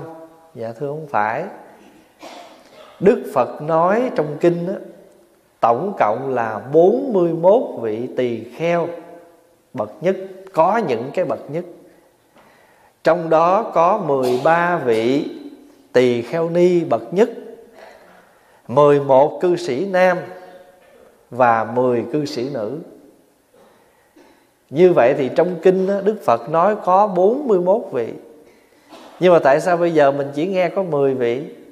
Đó là do người sau người ta sưu tập Người ta chọn ra 10 vị để làm thành một cái quyển sách. Chứ Đức Phật không có chỉ đặc biệt cho 10 vị đó.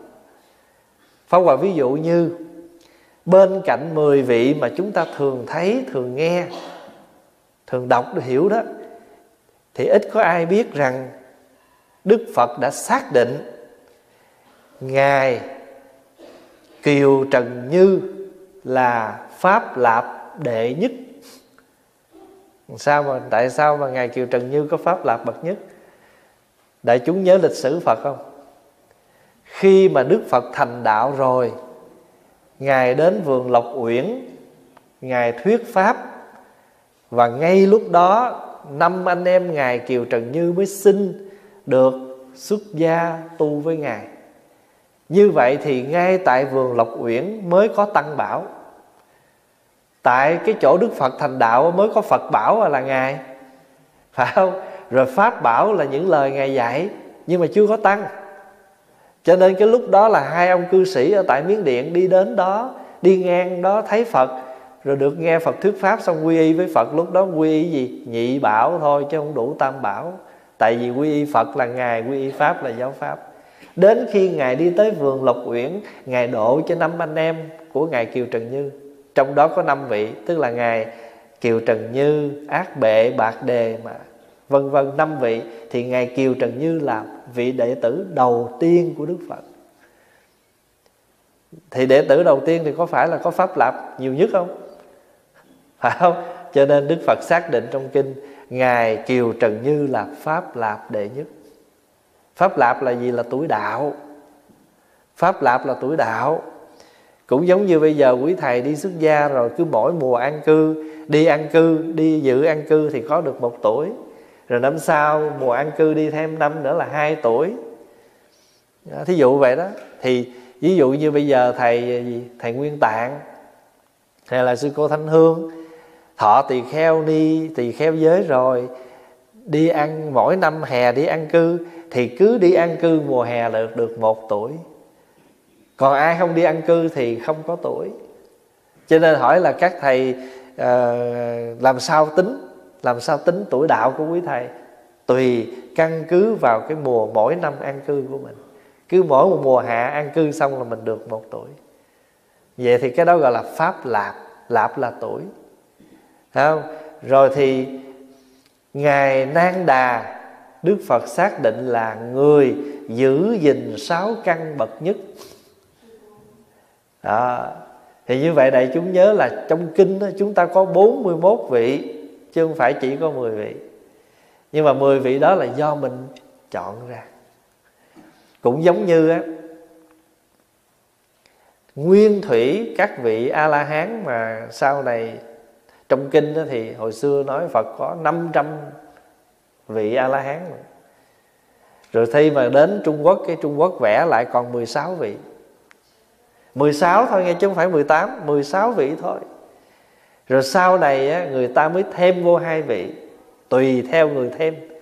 Có người thêm á, vị thứ 17 là bố đại hòa thượng tổ đạt ma là thứ 18 có người thêm á, là ngài à, à, à, tế công hòa thượng ở bên à, trung quốc là số 17 ngài à, đường à, đường à, đường tăng tức là ngày huyền trang là thứ 18 thì cái số 12, 17 18 đó thì tùy người ta thay đổi hai vị nhưng mà nguyên thủy là có 16 vị thôi. Chúng ta gọi là 16 vị la hán nhưng mà sau này trung hoa thêm mua hai vị nữa, thành ra 18 vị a la hán thì như vậy pháp hòa thưa đại chúng là trong số các vị đó, có một vị thánh tăng. Vị này có cái phước là đi đến đâu thì ngài cũng được người ta ủng hộ, cúng dường vị này có tên là Sivali có chỗ đọc là Sivali à, mà người Trung Hoa phiên âm cái tên của ngài là Thibala. Đó là tiếng Hoa phiên âm là Thibala. Và nguyên thủy mình gọi ngài là ngài Sivali và vị à, vị um, à, tôn giả Sivali này được các nước Phật giáo Nam truyền tức là Tích Lan, Thái Lan, Miến Điện, Lào, Campuchia thờ rất là nhiều, đặc biệt là Miến Điện, Thái Lan. Hầu như chùa nào bước chân vô là cũng có tượng của Ngài hết. Và hôm nay Pháp Hòa muốn giới thiệu với đại chúng vị tôn giả này. Lý do là gần đây ở bên Việt Nam bắt đầu tạo tượng của Ngài và phần lớn thấy các vị cũng thỉnh Ngài về thờ. Các có chùa cũng thỉnh Ngài thờ và có số Phật tử thỉnh Ngài thờ. Nhưng mà thỉnh Ngài thờ là tại sao? Vì kính ngưỡng Ngài thờ phải không? Không phải, ít lắm. Tại nghe cái ông đó là cái gì? Ban phước, ban lộc là thỉnh về giống như mình đâu biết ông thần tài là ai đâu, không biết. Nhưng mà nghe người ta chỉ cái ông đó ông thần tài đó là lật đật đi mua về về để để mong gì? Mong ngài ban cho mình cái phước lộc đó. Thì thưa đại chúng là Pháp Hòa muốn giới thiệu để đại chúng biết rằng mình muốn có phước, có lộc không phải tự nhiên mà được. Không phải mình đem tượng của ngài về mà mình có. Nếu mình không có làm thí dụ giờ bây giờ ví dụ nè mình muốn thuộc kinh thì mình phải làm cái gì? Học kinh. À, mình muốn có tiền thì phải đi làm. Hay là đi làm xong rồi phải để dành tiền chứ đâu phải có cái chuyện là là ngồi ở nhà tụng ngày đem về ngày thờ đó là ngày cho tiền của đâu. Phải không? Cho nên cái nhân mình phải có tạo thì cái quả mới có được cho nên pháp hòa chỉ muốn đại chúng nhưng chúng ta là phật tử. Chúng ta thờ ngài là tốt, tức là để tượng trưng cho cái tâm mình kính ngưỡng. Nhưng không thể chỉ hiểu theo một cái nghĩa, một chiều là cứ thờ ngài là ngài ban phước. Mà chúng ta thờ rồi hiểu ngài là ai và ngài đã làm gì để ngài có được cái phước đó. Thưa đại chúng là trong kinh kể về ngài rất là nhiều. Rồi giờ đại chúng muốn biết ngài là ai thì đây, ngài đang ngồi đây này đây là cái tượng tạo ở bên Việt Nam bây giờ phát hành nhiều lắm. Mà thiên hạ thỉnh, rần rần thỉnh về thờ. Lúc này thần tài hơi ế, ngày Sivali hơi đắt.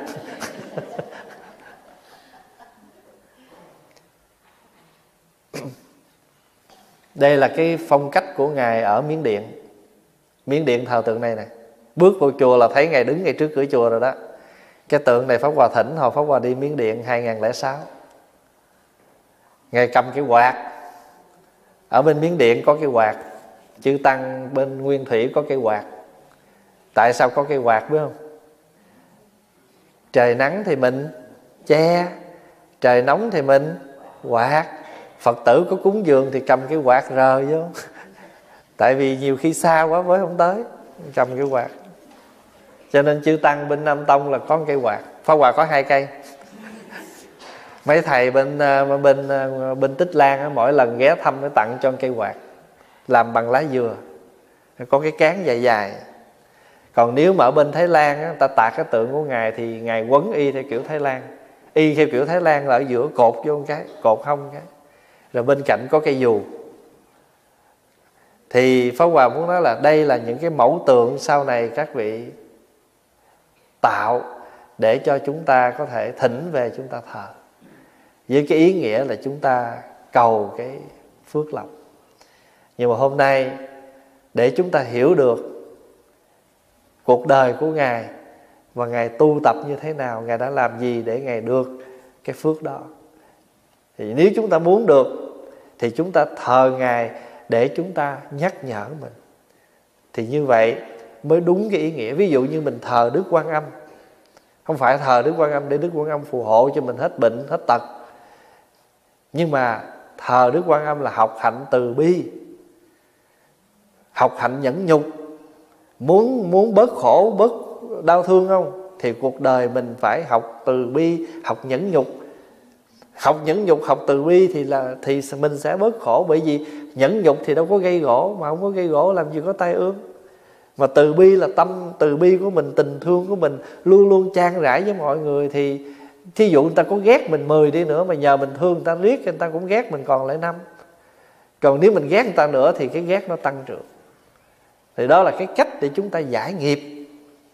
Đó là cái cách để chúng ta giải khổ. Ví dụ đời này mình nghèo thì đừng mình có, đừng có ganh với người giàu, đừng có ganh với người có của. Tại vì nghèo của rồi mà nghèo luôn cái tâm nữa thì nghèo sơ sát không? Mình nghèo cái của, nhưng mình không có nghèo cái tâm.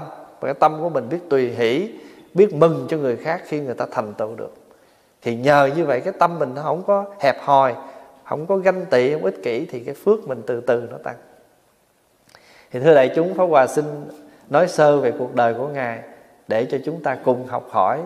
Và chúng ta, khi chúng ta lại phần lớn các vị đi tới chùa, thấy gần đây, tại vì ta tặng cái tượng này nè.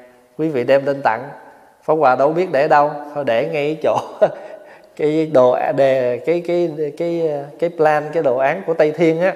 Thôi để cầu nguyện ngài ban phước cho cho tây thiên. À.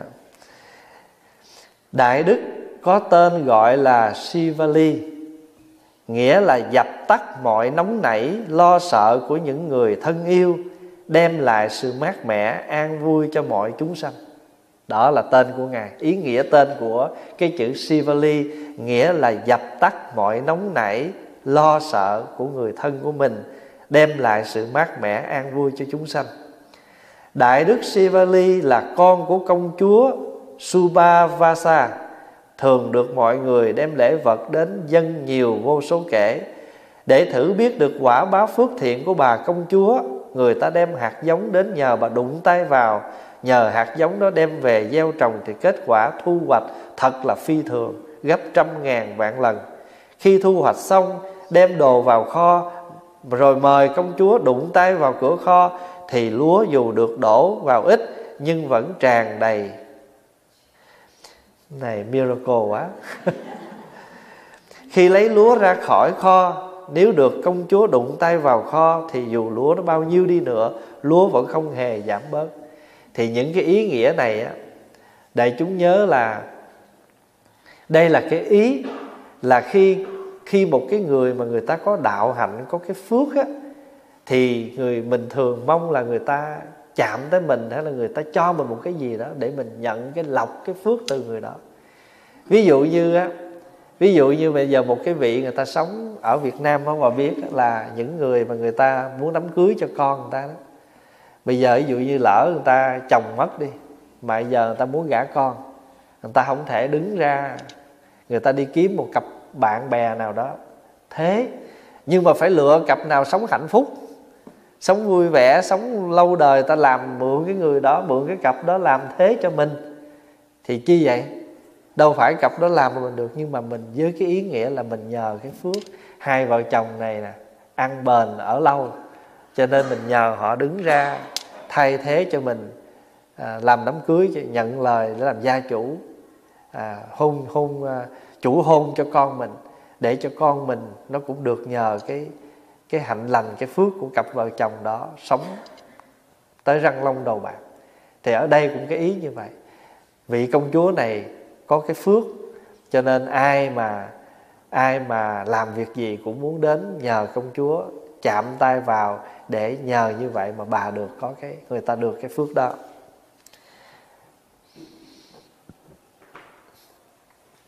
Có một cái đặc biệt là ngài Sivali ngài là người ở trong bụng mẹ lâu năm. Thường thường á, người ta là 9 tháng 10 ngày. Người nào mà lạm lắm là chắc ờ, 11 tháng thôi nhưng mà đặc biệt là ngài ở trong bụng mẹ 7 năm lẻ 7 ngày. Thông thường sau khi thọ thai hoặc 9 hoặc 10 tháng thì người mẹ sinh con.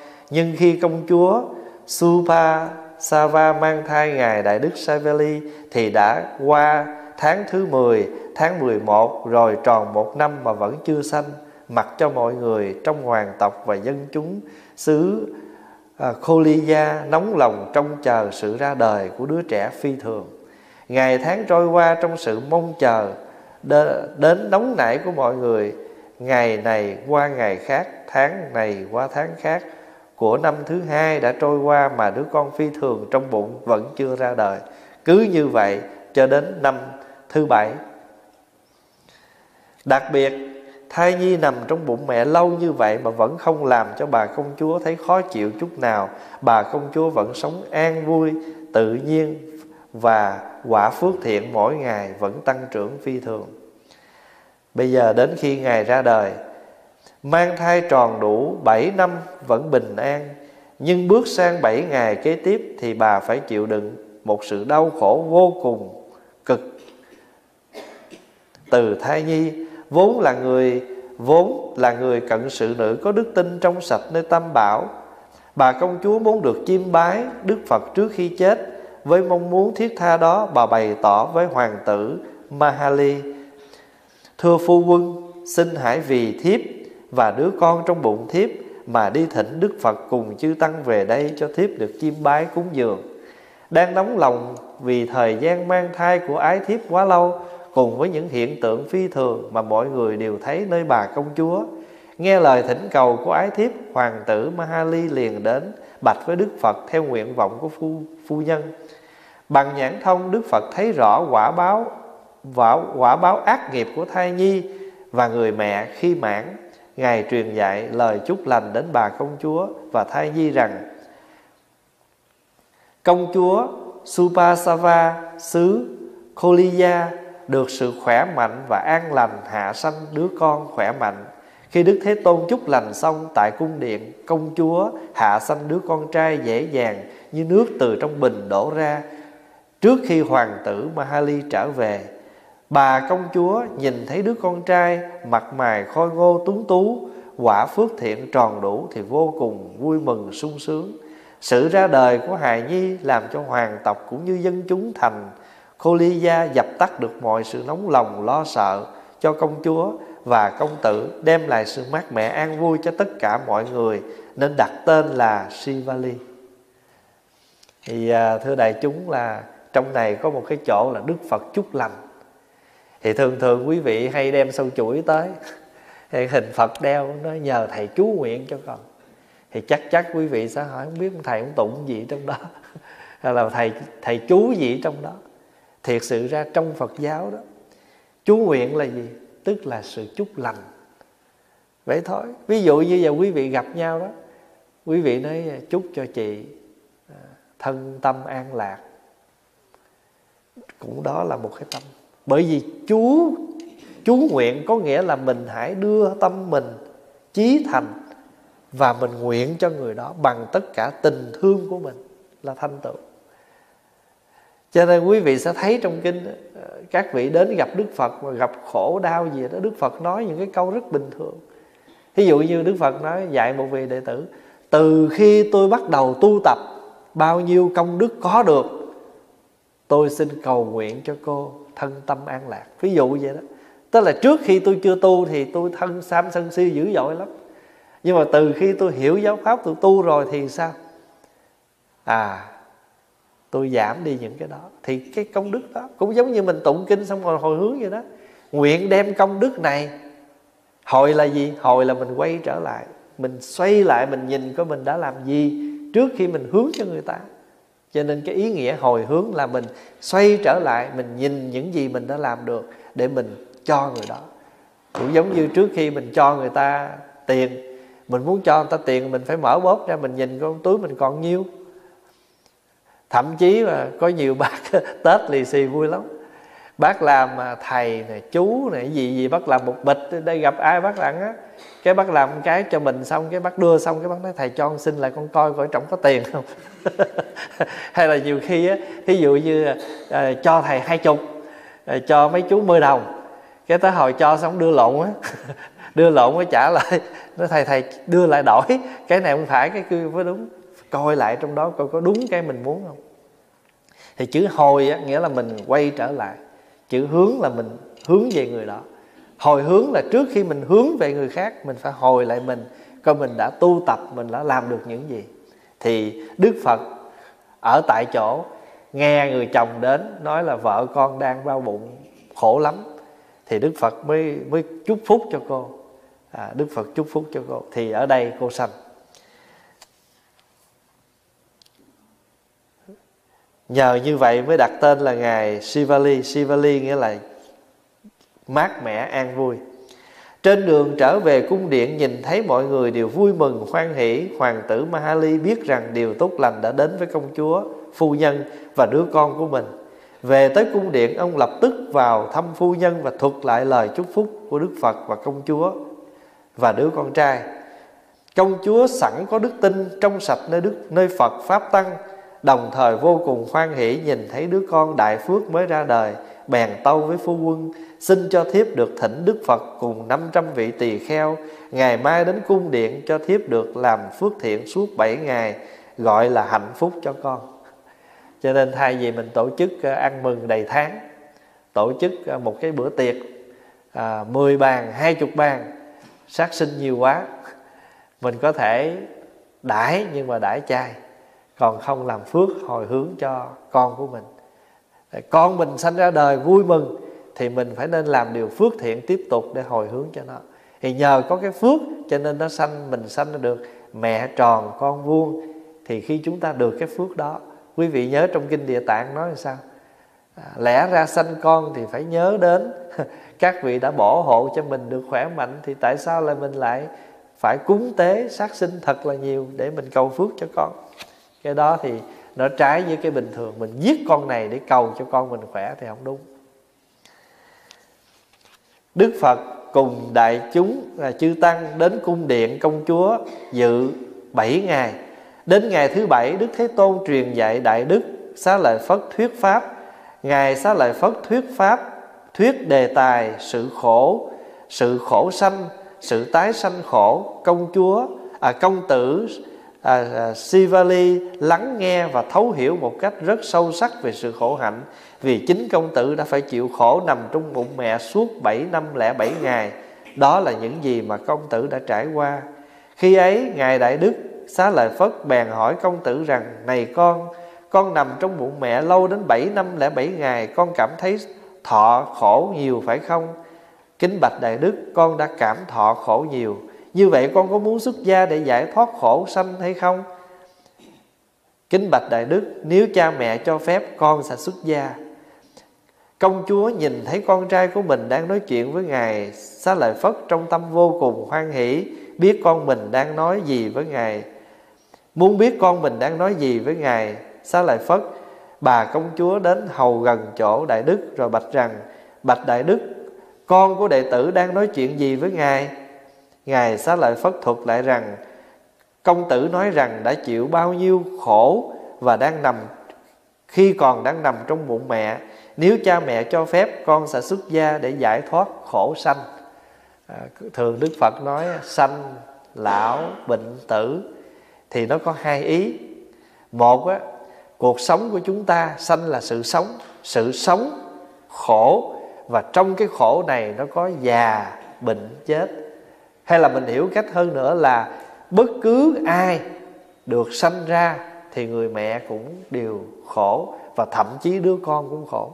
Ví dụ như đứa con nó khó sanh thì người ta phải mổ, người ta phải làm cái gì đó để cho đứa con đó được ra đời dễ dàng.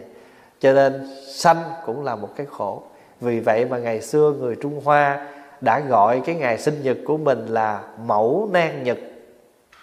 Thay vì mình gọi là sinh nhật thì người Trung Hoa gọi là mẫu nan nhật tức là người à, xin lỗi cái ngày mà khó khăn nhất của người mẹ. Ngày khó khăn nhất là bởi vì người mẹ phải sanh mình ra rất là cực rất là đau. Cho nên đối với mình đó là sinh nhật nhưng mà đối với mẹ mình là mẫu nan tức là ngày rất ngày mà người mẹ phải chịu cái khó cái khổ nhất khi mình sanh mình. Bây giờ công tử đi xuất gia. Công tử Sivali sau khi thọ giáo lời dạy của thầy tế độ là ngày xá lợi Phất, liền được đại đức à, một kiền liên cạo tóc. Trong khi cạo tóc, giới tử Sivali tiến hành thiền định căn bản, năm thể trượt trong thân và tiến hành thiền tuệ biết rõ khổ của sự tái sanh của danh pháp, sắc pháp. Khi ngài đại đức, một kiền liên vừa đặt dao cạo tóc, giới tử Sivali liền chứng ngộ lý tứ thánh đế chứng đắc nhập lưu thánh đạo nhập lưu thánh quả cạo đường tóc thứ nhất giới tử Sivali chứng ngộ chân lý tứ thánh đế chứng đắc nhất lai thánh đạo nhất lai thánh quả. À, trong kinh này trong đoạn này kể lại ngài Sivali được đi tu. Và khi mà ngài xá lợi phất độ ngài tu rồi ai là người cạo tóc cho ngài Sivali ngài một kiền liên. Mà quý vị biết là ngài một kiền liên vừa đưa cái dao lên cạo tóc cho ngài Sivali và ngài Sivali ngay chỗ đó, ngài chứng quả. Mình bây giờ cạo quá trời luôn. Tại vì biết không, mình cạo cái đầu mà mình chưa cạo cái tấm. Mình cạo cái đầu mà chưa cạo nhớt. Đi tu mà làm biến quá, làm gì tu, thành tựu được cái gì? Cho nên đó, cạo cái đầu là hình thức cạo cái tâm mới quan trọng. Cho nên có một lần đó cái vị phật tử mới hỏi pháp hòa chứ thầy ơi đi tu cái gì khó nhất? Khó nhất là gì? Cạo tâm. Còn cạo đầu nó dễ lắm. Bây giờ nó bán ờ, có một cái loại shaving chỉ cần mua cái phôm nó về để đầu 5 phút là xong cái đầu sạch trơn. Nhưng mà cạo tâm là cạo nguyên đời nguyên kiếp mà nhiều khi đầu lúc nào cũng sạch mà tâm thì chưa sạch. Cho cạo tâm khó. Mà người mà muốn thường muốn được cái tâm đó thì người đó phải dụng cái tâm quán chiếu. Thì ngài xá lợi phật ngày ngày Sivali mà trong khi hàng ngày á, dù ngài chưa đi xuất gia thì ngài đã quán cái gì? Thưa đại chúng 7 năm mà nằm trong bụng đó tượng trưng cho một khoảng thời gian chúng ta phải chịu đựng mà trong khi chịu đựng đó chúng ta phải tư duy phải quán chiếu để chúng ta thoát được nó. Cho nên đối với ngài á, khi mà ngài đi vào tu á, ngài dễ dàng. Cái gì mà mới cạo tóc mà chứng quả? Bây giờ phải vào ví dụ này nè. Ví dụ bây giờ quý vị nào chưa đi xuất gia. Nhưng mà hàng ngày quý vị đang ở trong cảnh đời này quý vị có phải đang 7 năm trong bụng không? Cái thời gian vậy đó giống vậy đó. Trời ơi, ngoài đời khổ rồi. Cuối tuần chạy vô chùa công quả khổ tiếp. Nhiều khi mình vô mình công quả mình chưa có tu tập, mình chưa có chuyển hóa, mình gặp nhiều những cái cái cái cái đối tượng phiền não quá, thì mình quằn quại từ trong đó, từ ngoài mình quằn quại vô tới trong này. Rồi quằn quại xong hết ngày cuối tuần, về nhà quằn quại tiếp. Nhưng mà nếu mình muốn hết cái đó, mình phải tập thí dụ như á mình phải tập hàng ngày những cái hạnh gì của người xuất gia để mình tập. Để chi? Để mai mốt á đủ duyên mình đi tu á mình tu lẹ. Vì trong khi mình ngoài đời mình đã tập cái này rồi. Cho nên khi mình đi bước vào tu á, dù mình 70 tuổi mới đi xuất gia nhưng mà mình không phải cực nhọc như một chú tiểu mới vào nữa.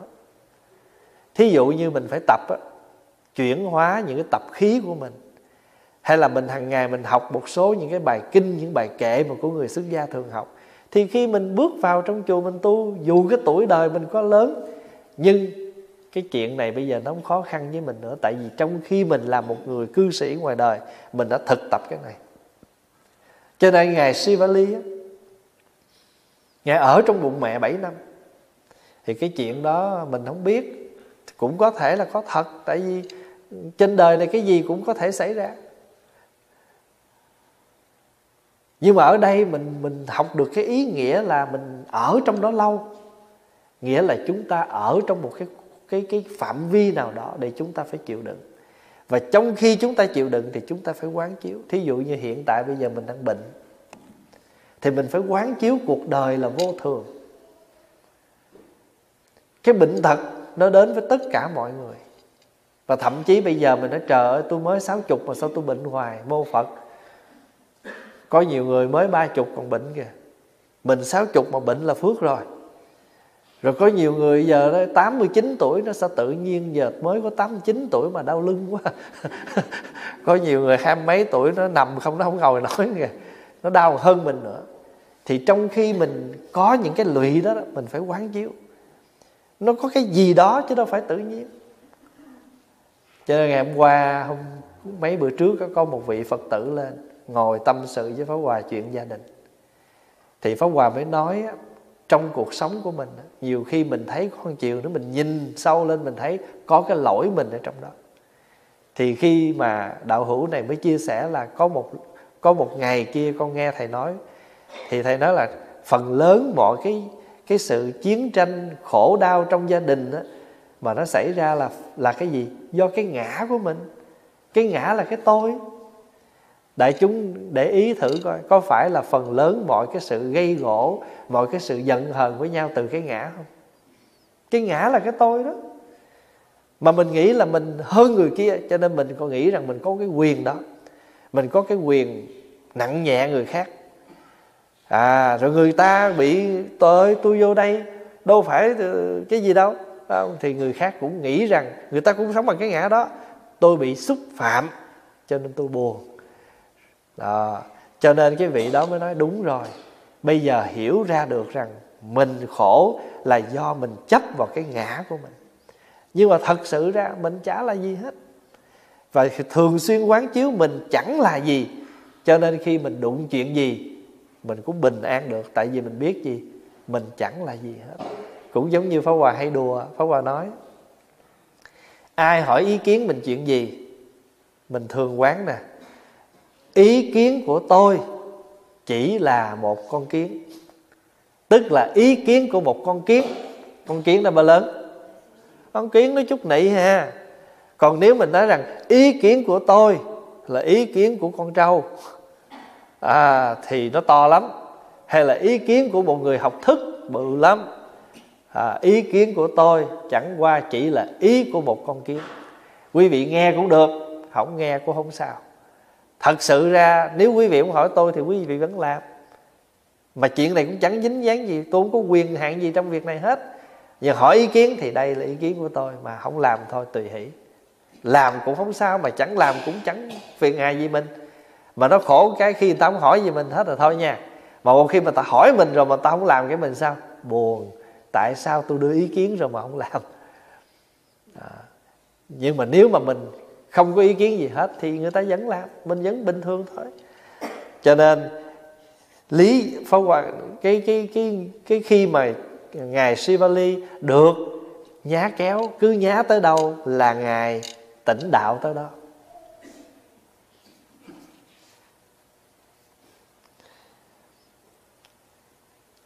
Kể từ ngày Đại Đức Sivali xuất gia làm sa di hàng ngày không chỉ hàng, có hàng cận sự nam, cận sự nữ, đem bốn món vật dụng, y phục, vật thực, chỗ ở, thuốc men, trị bệnh đến dân cúng. Ngài đại đức và chư tỳ kheo tăng ngày càng đầy đủ, dồi dào, sung túc mà trước đây chưa từng có. Quý vị có nhớ là ngài xá lợi phất có có một người đệ tử, thiếu phước khi mẹ của cái vị đó có thai, thì tự nhiên nhà cửa thiếu ăn, làm ăn suy sụp. Rồi làng xóm, người ta không làm ăn được gì hết, thì người ta nghĩ rằng cái bà này bà mang trong người bà một cái đứa nhỏ ác nghiệp gì đó, đuổi bà đi. Đuổi bà đi rồi người khác thấy tội nghiệp quá, người ta đem về, người ta nuôi, nhà đó cũng suy sụp, tài sản luôn. Đến nỗi người ta chịu hết nổi người ta đuổi ngài đi lang thang ngoài đường ngày xá lại phất đi ngang, thấy đứa nhỏ tội nghiệp quá, đem về cho đi tu. Cho đi tu làm người tu thì vô tù là bảo đảm rồi làm sao đói nổi. Đi tu là không bao giờ đói nổi hết á. Nhờ ké phước của đại chúng. Vậy mà đặc biệt, cái thầy này thấy đi khất thực với đại chúng á. Đi khất thực ngoài đường vậy, ta cúng cúng cúng cúng cái tới ngày cái tự nhiên hết đồ ăn. Mà hãy tới phiên ngày là hết đồ ăn thì ôm bụng đói đi về thiếu phước đến mức như vậy. Rồi đến khi mà ngài bệnh, sắp chết, ngài xá lợi phất mới nói, trời cái tội nghiệp cái đứa đệ tử tôi, nó thiếu cái phước từ trong bụng. Khi nó sanh ra, nó cũng thiếu phước, nó đi tu, nó cũng thiếu phước luôn. Thôi, bây giờ, trước khi nó chết, mình đem chén cơm nói cho nó ăn. Nó ăn nó no bữa đi, cho nó biết cái gì là no bữa đi trước khi nó chết ngài đem chén cơm tới, sóc người đệ tử dậy định cho nó ăn, tắt thở trước khi chén cơm ăn ăn chén cơm. Nhưng mà bù lại ngài Sivali thì khác. Quần áo, thuốc, men, mọi thứ sung túc. Đó là cái phước của ngài.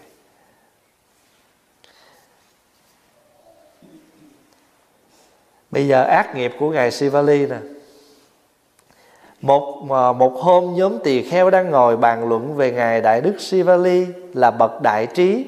Ngài đã chứng đắc từ bậc thánh nhập lưu đến bậc thánh a la hán trong khoảng thời gian cạo tóc. Dễ sợ không? Chứng quả thứ nhất là nhập lưu cho đến khi mà ngài chứng a la hán chỉ trong khoảng thời gian phủi tóc thôi. Còn giờ mình phủi đến cái cây dao nó lục nó mòn, thay bao nhiêu lần cái dao mà dở chứng thì nhiều cho còn chứng quả bao nhiêu. tu càng lâu càng dở chứng. Ngài còn là bậc đại phước kể từ khi ngài xuất gia thành sa di, bốn món vật dụng. Bốn món vật dụng mà chúng ta thường gọi là tứ vật dụng. Bốn thứ mà có thể cúng dường cho người tu là thuốc men, quần áo, chỗ ở, thực phẩm. Đó là bốn món cúng dường mà chúng ta thường gọi là tứ sự cúng dường hay là tứ vật dụng. Ngài còn là bậc đại phước kể từ khi xuất gia, Ngài có đủ bốn món vật dụng. Không chỉ đến Ngài Đại Đức Sivali Mà còn đến tất cả chư Tăng Một cách đầy đủ dồi dào, sung túc mà trước đây chưa từng có. Vậy, do quả ác nghiệp nào khiến Ngài phải nằm trong bụng mẹ chịu khổ suốt 7 năm? Lúc ấy, Đức Thế Tôn ngự đến, bèn hỏi rằng, Này chư tỳ khưu, Các con đang bàn luận về chuyện gì? Nhóm tỳ kheo bạch Đức Thế Tôn rõ, Con đang bàn luận về Đại Đức Sivali. Đức Thế Tôn dạy rằng, Này chư tỳ kheo, Sivali chịu khổ do quả ác nghiệp Đã tạo từ kiếp quá khứ. Trong quá khứ, tiền kiếp Sivali là thái tử, Con của đức vua trị vì ở thành Baranasi Khi phụ vương băng hà, Thái tử lên ngôi vua, Lúc ấy có vị vua ở nước láng giềng mưu toan kéo quân chiếm thành. Baranasi. Trên đường tiến quân, vị vua này lập doanh trại cho lính, cho quân lính nghỉ đêm. Đức vua ở kinh thành Baranasi hay tin, bèn bàn tính với hoàng thái hậu tìm cách ngăn cản đội quân xâm lược, rồi đem quân vây quanh bốn cửa doanh trại suốt bảy ngày đêm không cho một ai lọt vào. Lúc ấy, chư phật độc giác đang ngự ở chùa thuyết giảng về pháp thiện, pháp ác khuyên bảo mọi người không nên gây nghiệp ác mà hãy cố gắng tạo nghiệp thiện. Đức vua kinh thành Varanasi sau khi nghe pháp hiểu rõ nghiệp thiện, nghiệp ác, liền truyền lệnh mở vòng vây bốn cửa doanh trại quân dịch, thả cho vua láng giềng và quân lính trốn thoát chạy về nước. Do quả ác nghiệp, vây hãm doanh trại suốt bảy ngày đêm, đức vua kinh thành Varanasi chết đọa địa ngục. Chịu khổ suốt thời gian dài nay đến kiếp hiện tại này được tái sinh vào lòng bà công chúa là hậu thân của bà hoàng thái hậu ở kiếp đã đồng tình với vương phi duy hãm danh trại do quả của ác nghiệp ở thời quá khứ dư lại nên khiến ngài Sivali và công chúa cùng chịu khổ trong suốt 7 năm lẻ 7 ngày. Đó. Cái cái cái cái quả là mình à, mình gì? Mình ngăn chặn, mình bích đường của người khác trong khoảng thời gian nào. Cho nên thí dụ giờ á mình đi đâu cũng bị người ta kiếm chuyện đó. Nói sao tôi đâu có chọc ghẹo gì người ta đâu? Tôi nghĩ tôi cũng hiền lắm mà. Mình hiền kiếp này thôi. Có thể đời trước mình cũng hay đi kiếm chuyện với người khác. Cho nên quý vị biết là mẹ của ngài Sivali ba của ngài Sivali và ngài Sivali trong quá khứ cũng có liên hệ với nhau. À, cho nên ví dụ bây giờ đời này mình gặp nhau ở tại quốc độ này nè tại cái thành phố này, tại quốc độ này, rồi cảm quý nhau, rồi cùng tu tập với nhau là chắc chắn đời trước mình đã từng làm việc chung với nhau, đã từng có những liên hệ với nhau. Cho nên đời này được gặp nhau, rồi thuận thảo với nhau, rồi hợp tác với nhau, rồi cùng làm phật sự với nhau. Chứ không phải bình thường, có cái duyên rồi rồi bây giờ đời này ráng tạo duyên lành nữa, đừng gây hấn. Tạo duyên lành nữa ồ, hay quá, đời này tôi gặp chị cùng phát tâm làm công quả với nhau, cùng à, được à, tu tập với thầy, với bạn. Hãy nên giữ cái thiện lành đó. Còn nếu mà mình không biết quý cái duyên này thì kiếp sau thì sao? Mình lọt qua duyên khác. Tại vì hiện tại có cái đẹp này mà không biết quý. Sống chung tu tập mà không trân trọng với nhau, xem thường nhau, gây hấn với nhau. Những cái chuyện nhỏ cũng thành ra chuyện lớn. Chuyện lớn làm cho nó thè lè. thì là mình không thích duyên này, phải không? Không thích duyên này thì mình sẽ rơi vào cái duyên khác. Mình sống trong một cái hoàn cảnh đẹp nhưng mà chính mình tạo cái duyên ngầm ngấm với nhau bằng những cái nội kết của mình thì chính mình đã phản cái duyên lành mà mình đang có. Cái quả là, cái quả phước là mình được ở trong môi trường lành nhưng mà trong tâm mình không sống với cái hoàn cảnh lành đó mà mình lại thường sống với cái nghịch thì chính mình đã không thích cái đó. Có những người người ta sống mà người ta không được như mình, còn mình được mà mình không thích, mình làm những cái điều nó không đúng, nó trái đi với cái tâm nguyện của mình. Ví dụ, cái người tu nói chung là mình phải sống bằng hòa thuận mới được gọi là tăng. Cái nghĩa của chữ tăng là khi mình sống hòa thuận mà khi mình không sống hòa thuận, thì mình đã bội với cái ý nghĩa đó, mặc dù mình đang sống trong tăng cũng giống như mình nói cách khác là thân mình đây mà tâm mình đi ngã khác vậy đó. Mà hết tâm mình đi ngã khác thì cái cái cái cái thần, cái tâm thức mình thường hướng tới đó. Cũng giống như ví dụ ha, bây giờ con người á, sống ở trong gia đình, nhưng mà tâm luôn luôn nhớ casino. Hễ mà rảnh cái á là họ chạy về casino, họ đánh bài như vậy thì khi mà bất cứ lúc nào họ rảnh, thì cái tâm họ hướng về đâu? Hướng về casino, họ thành cái tập nghiệp của casino. Thì mình cũng vậy. Nếu hiện đời này mình có được thân tướng của một người xuất gia, hay là thân tướng của một người phật tử, mình được cái phước lành, mình sống trong một cái môi trường quá thiện, thường có những chương trình tu học thường được về cùng làm phật sự, cùng công quả nhưng mình. Được cái duyên đó, mình không sống bằng cái đó. Mình sống bằng cái tâm niệm đủ thứ sai quay thì cái sai đó, chính mình đã tạo cái nghịch duyên đó. Thì khi mình đủ cái nghiệp lực thì cái đó nó lôi mình. Nó là như vậy thôi. Cho nên mình có Đại Đức Sivali tròn 20 tuổi, thọ cụ túc giới, bốn món vật dụng ngày càng dồi dào hơn đến chư tỳ khưu. Thì thưa đại chúng ở trong kinh kể ngài Sivali trong nhiều đời bố thí cúng dường làm phước. Cho nên đời này nhưng mà trong khi mình làm phước á có thể tạo nghiệp không? Trong khi làm phước có thể tạo nghiệp không? Có.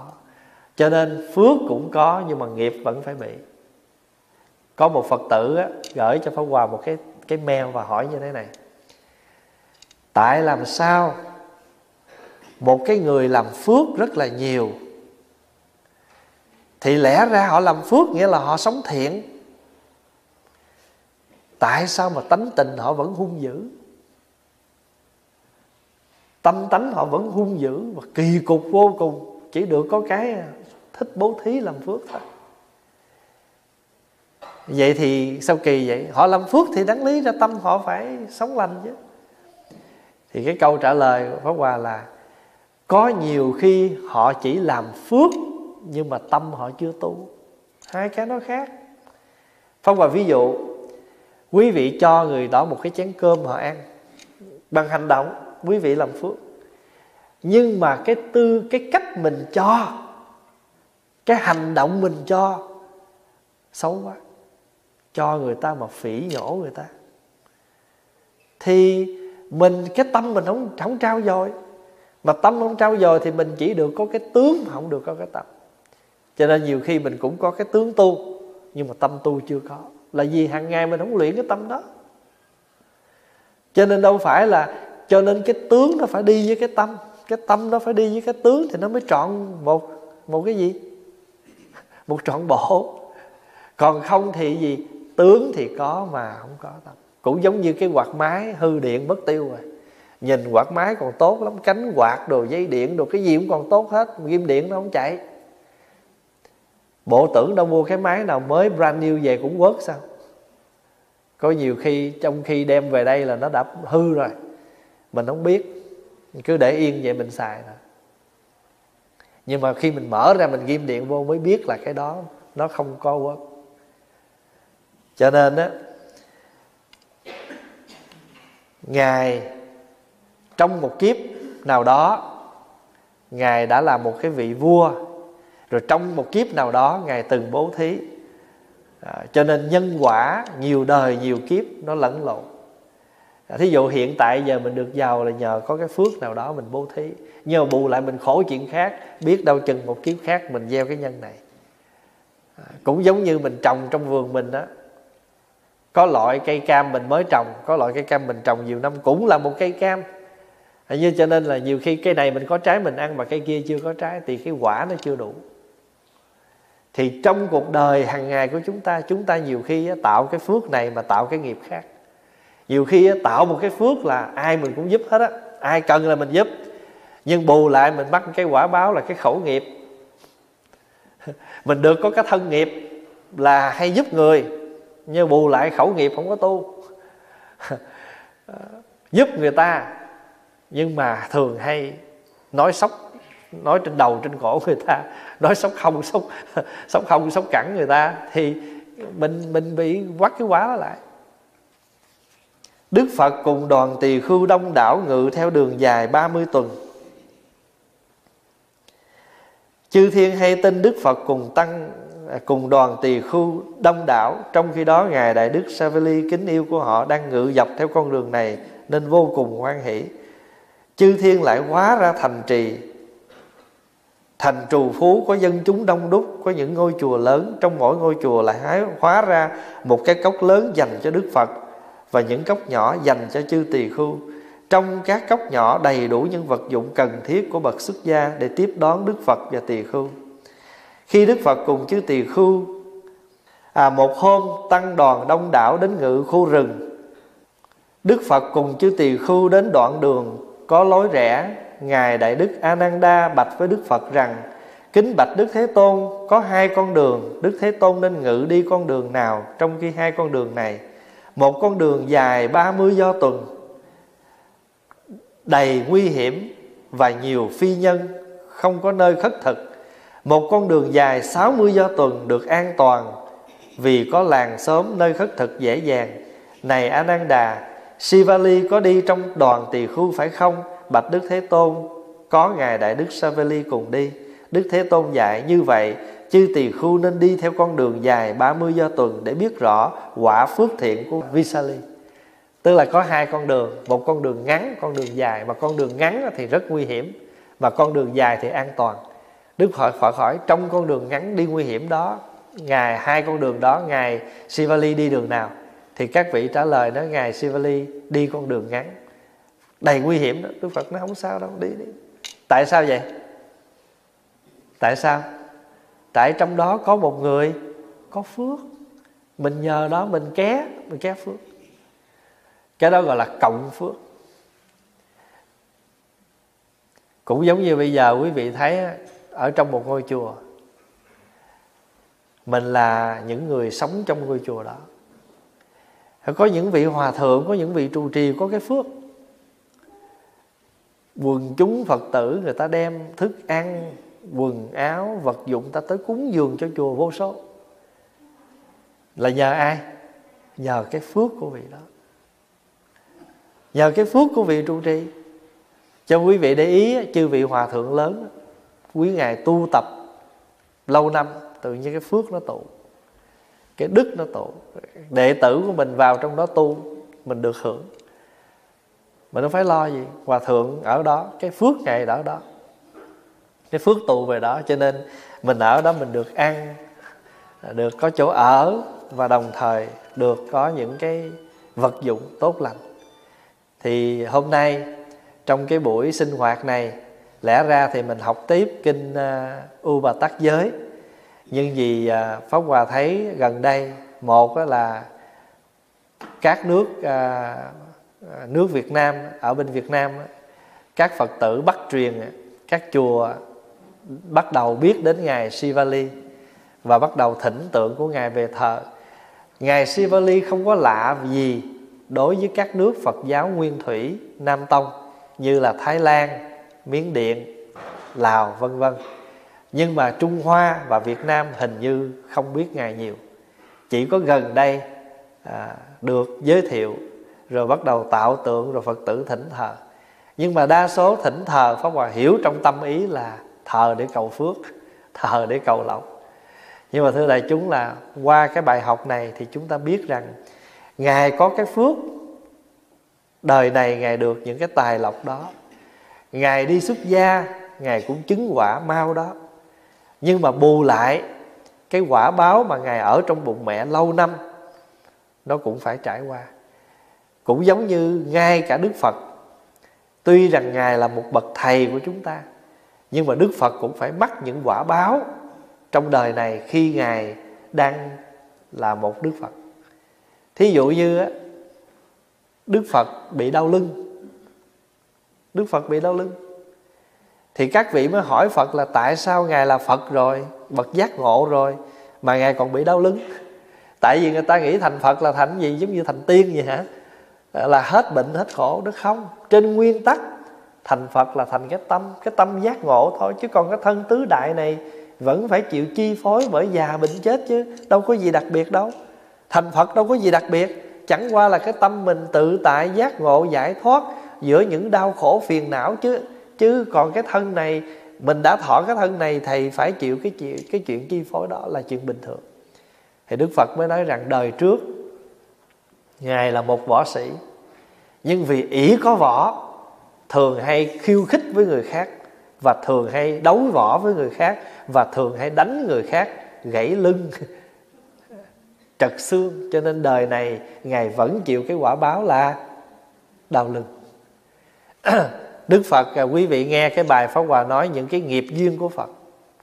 Đức phật bị người ta độn cái bụng chữa vô vu oan là ngài ở với cô đó có con. Mà đức phật phải gặp nhiều cái nạn trong cuộc đời của ngài. Thì đại chúng nhớ là khi mình thành phật không có phải là mình thành tiên thành thánh gì rồi cái thân xác này trẻ mãi không già sống hoài không chết không phải vậy thành phật nghĩa là cái tâm mình tự tại giác ngộ trước mọi cảnh duyên. Ví dụ như bây giờ á mình à, gặp nhiều cái khó khăn trong cuộc sống. Nhưng nếu mà người chưa hiểu đạo chưa thấu đạo á thì người ta buồn khổ theo mỗi lần nó lên xuống. Nhưng mà cái người mà cái tâm hiểu đạo rồi á, thì chúng ta thấy được rằng à cái chuyện lên xuống trong cuộc đời đó là chuyện sự thật. Hiểu được cái đạo lý của đời là có đến có đi có còn có mất có thành có bại. Vì trong cuộc đời này thủy chung lúc nào nó cũng có hai cái mặt đó. Thí dụ như có mặt trái mặt phải. Thấy không? Có à, lạnh có nóng có sáng có tối. À, có trời có trăng có ngày có đêm có năm có tháng. Có tốt có xấu có lành có dữ. Lúc nào cũng có hai mặt đó và chúng ta hiểu được như vậy thì chúng ta bớt đi những cái chấp trước bắt buộc về cuộc đời, sống được bình an với nó. Bây giờ thân bệnh nhưng mà tâm không có bệnh, vì cái tâm mình làm chủ được, còn cái thân và hoàn cảnh mình không làm chủ được. Mình đâu có nói với cái thân này nè, tôi sắp đi chơi nha, đừng có bệnh nha, tôi đi đi rồi về muốn bệnh gì bệnh. Đâu có nói với nó được. Nó muốn bệnh là nó bệnh à. Không và không lẽ giờ mình nói, nè, đừng tôi sắp sửa đi đây đi. Không lúc nào mình không làm chủ được thân. Nhưng mình làm chủ được cái tâm mình. Bệnh nhưng mà tâm mình biết như vậy cho nên mình bớt khổ. Thì đó là cái ý nghĩa mà chúng ta học. Nếu muốn có phước thì phải bố thí phải làm lành. Cũng giống như muốn học giỏi à, muốn thành muốn thành tài phải chịu khó học. Không có ai trong cuộc đời này mà chỉ có một mực cầu cái đó mà được. Chúng ta cầu nguyện là mong muốn, nhưng chúng ta phải làm. Vậy thì chúng ta để tượng ngài Sivali để thờ, thì nhớ cái ác nghiệp của ngài là đời trước là gì? Ngăn chặn người khác. Cho nên ngài cũng bị cái khổ là bị bích lối ở trong bụng 7 năm. Nhưng mà trong khi ở cái chỗ đó, khổ đó, được cơ hội quán chiếu về cuộc đời, quả thật sanh khổ chết khổ không? Chết khổ không? Chết khổ luôn. Đâu phải muốn chết là chết được đâu. Không? Có nhiều người nói, trời ơi, thôi tôi bệnh hoài, cho tôi chết cho rồi đi. Không được, không phải muốn chết là được đâu. Mà nhiều khi rồi cái cuộc sống này á, mỗi người chúng ta phải có một cái nghiệp của mình. Mà mình sống là theo cái nghiệp và cái phước. Nếu đời này mình quá nhiều nghiệp, nghĩa là do chúng ta thiếu phước thì bây giờ hãy dụng cái thân mà chúng ta đang thọ nghiệp này tạo phước. Để thứ nhất, đời này chúng ta cũng bình an một phần nào trong khi trả nghiệp. Và tập nghiệp, tập cái phước đó, đến một lúc nào nó đầy đủ, nó thuần thục thì tiêu cái nghiệp này thì cái phước nó tăng trưởng. Cho nên ba cái lại mỗi lần mình lại Pháp Hòa hay hướng dẫn đại chúng nguyện đó, khi mình lại xuống lại thứ nhất, nguyện cho con tiêu vô lượng tội chướng. Lại thứ hai, nguyện cho con giải vô lượng oan nghiệp. Lại thứ ba, nguyện cho con tập vô lượng phước đức. Tội nghiệp phước, mà hãy phước nó có thì nghiệp nó giảm. Mà phước nó giảm thì nghiệp nó tới. Cho nên đời này cũng có phước nhưng cũng có nghiệp. Cũng giống như ngài Sivali, được cái phước là do nhiều đời qua bố thí nhưng mà bị cái nghiệp là do một đời nào đó ngài sống bằng cái cách là bích lối người khác chịu khổ. À, cũng giống như mà mình thờ thần tài vậy đó. Tài là tiền. Tiền mà có được đó, nó có công năng làm việc nhiều lắm cho nên nó như thần vậy đó. Ta kêu thần tài. À, những cái dây ờ, những cái dây trong đầu mình nó nó linh động lắm. Nếu mình biết sử dụng nó đúng thì nó làm nhiều việc đúng cho nên kêu thần kinh. Vì vậy cho nên cái gì mà nó có cái sức lực, mà nó có khả năng nó chuyển hóa, nó vượt thì kêu là thần. Giống như mình gọi là thần tài. Tiền mà không biết xài thì nó mất thần. Phải không? Tiền mà biết dụng thì nó là thần tài. Thổ thần là thần đất. Nhà của mình yên ổn thì phải ráng giữ làm sao cho nó yên ổn là thần đất. Mà nhà mà yên thì tiền của nó còn. Nhà mà không yên thì tiền của nó mất. Ít nhất cũng mất phân nửa. Tại ra ký giấy rồi là phải chia hai. Tại nữa cái nhà đó mà yên thì tiền của nó còn. Nhà không yên thì tiền của nó mất. Tâm mà mình, thí dụ có nhiều người buồn quá, không biết làm gì đi shopping. Mà đi shopping là phải mua sắm và có nhiều khi đâu có xài hết đâu, nhưng mà tại vì buồn quá, không có chuyện gì làm. Thấy nó đẹp, nó rẻ thì phải mua. Mà nhiều khi mua về mà không xài. Đó, thành thử ra mình cũng không vững được như vậy, cho nên tiền mình nó giảm. Thôi thì à, đại chúng nghe về cuộc đời ngài Sivali và chúng ta học được cái hạnh của ngài và biết được cái phước, cái nghiệp của ngài để chúng ta nhớ rằng cuộc đời này cái gì cũng phải có cái phước cái gì cũng phải do cái nghiệp chứ không phải tự nhiên mà được. Xin chúc đại chúng à, năm mới được an lành và à, thường noi theo cái gương hạnh của các vị thánh tăng bồ tát phật để chúng ta học tu. Đại chúng hồi hướng. Nguyện à, đem à, công à, đức này hướng khắp ờ, tất ờ, cả đệ tử và chúng ờ, sanh đều trọn thành phật đạo.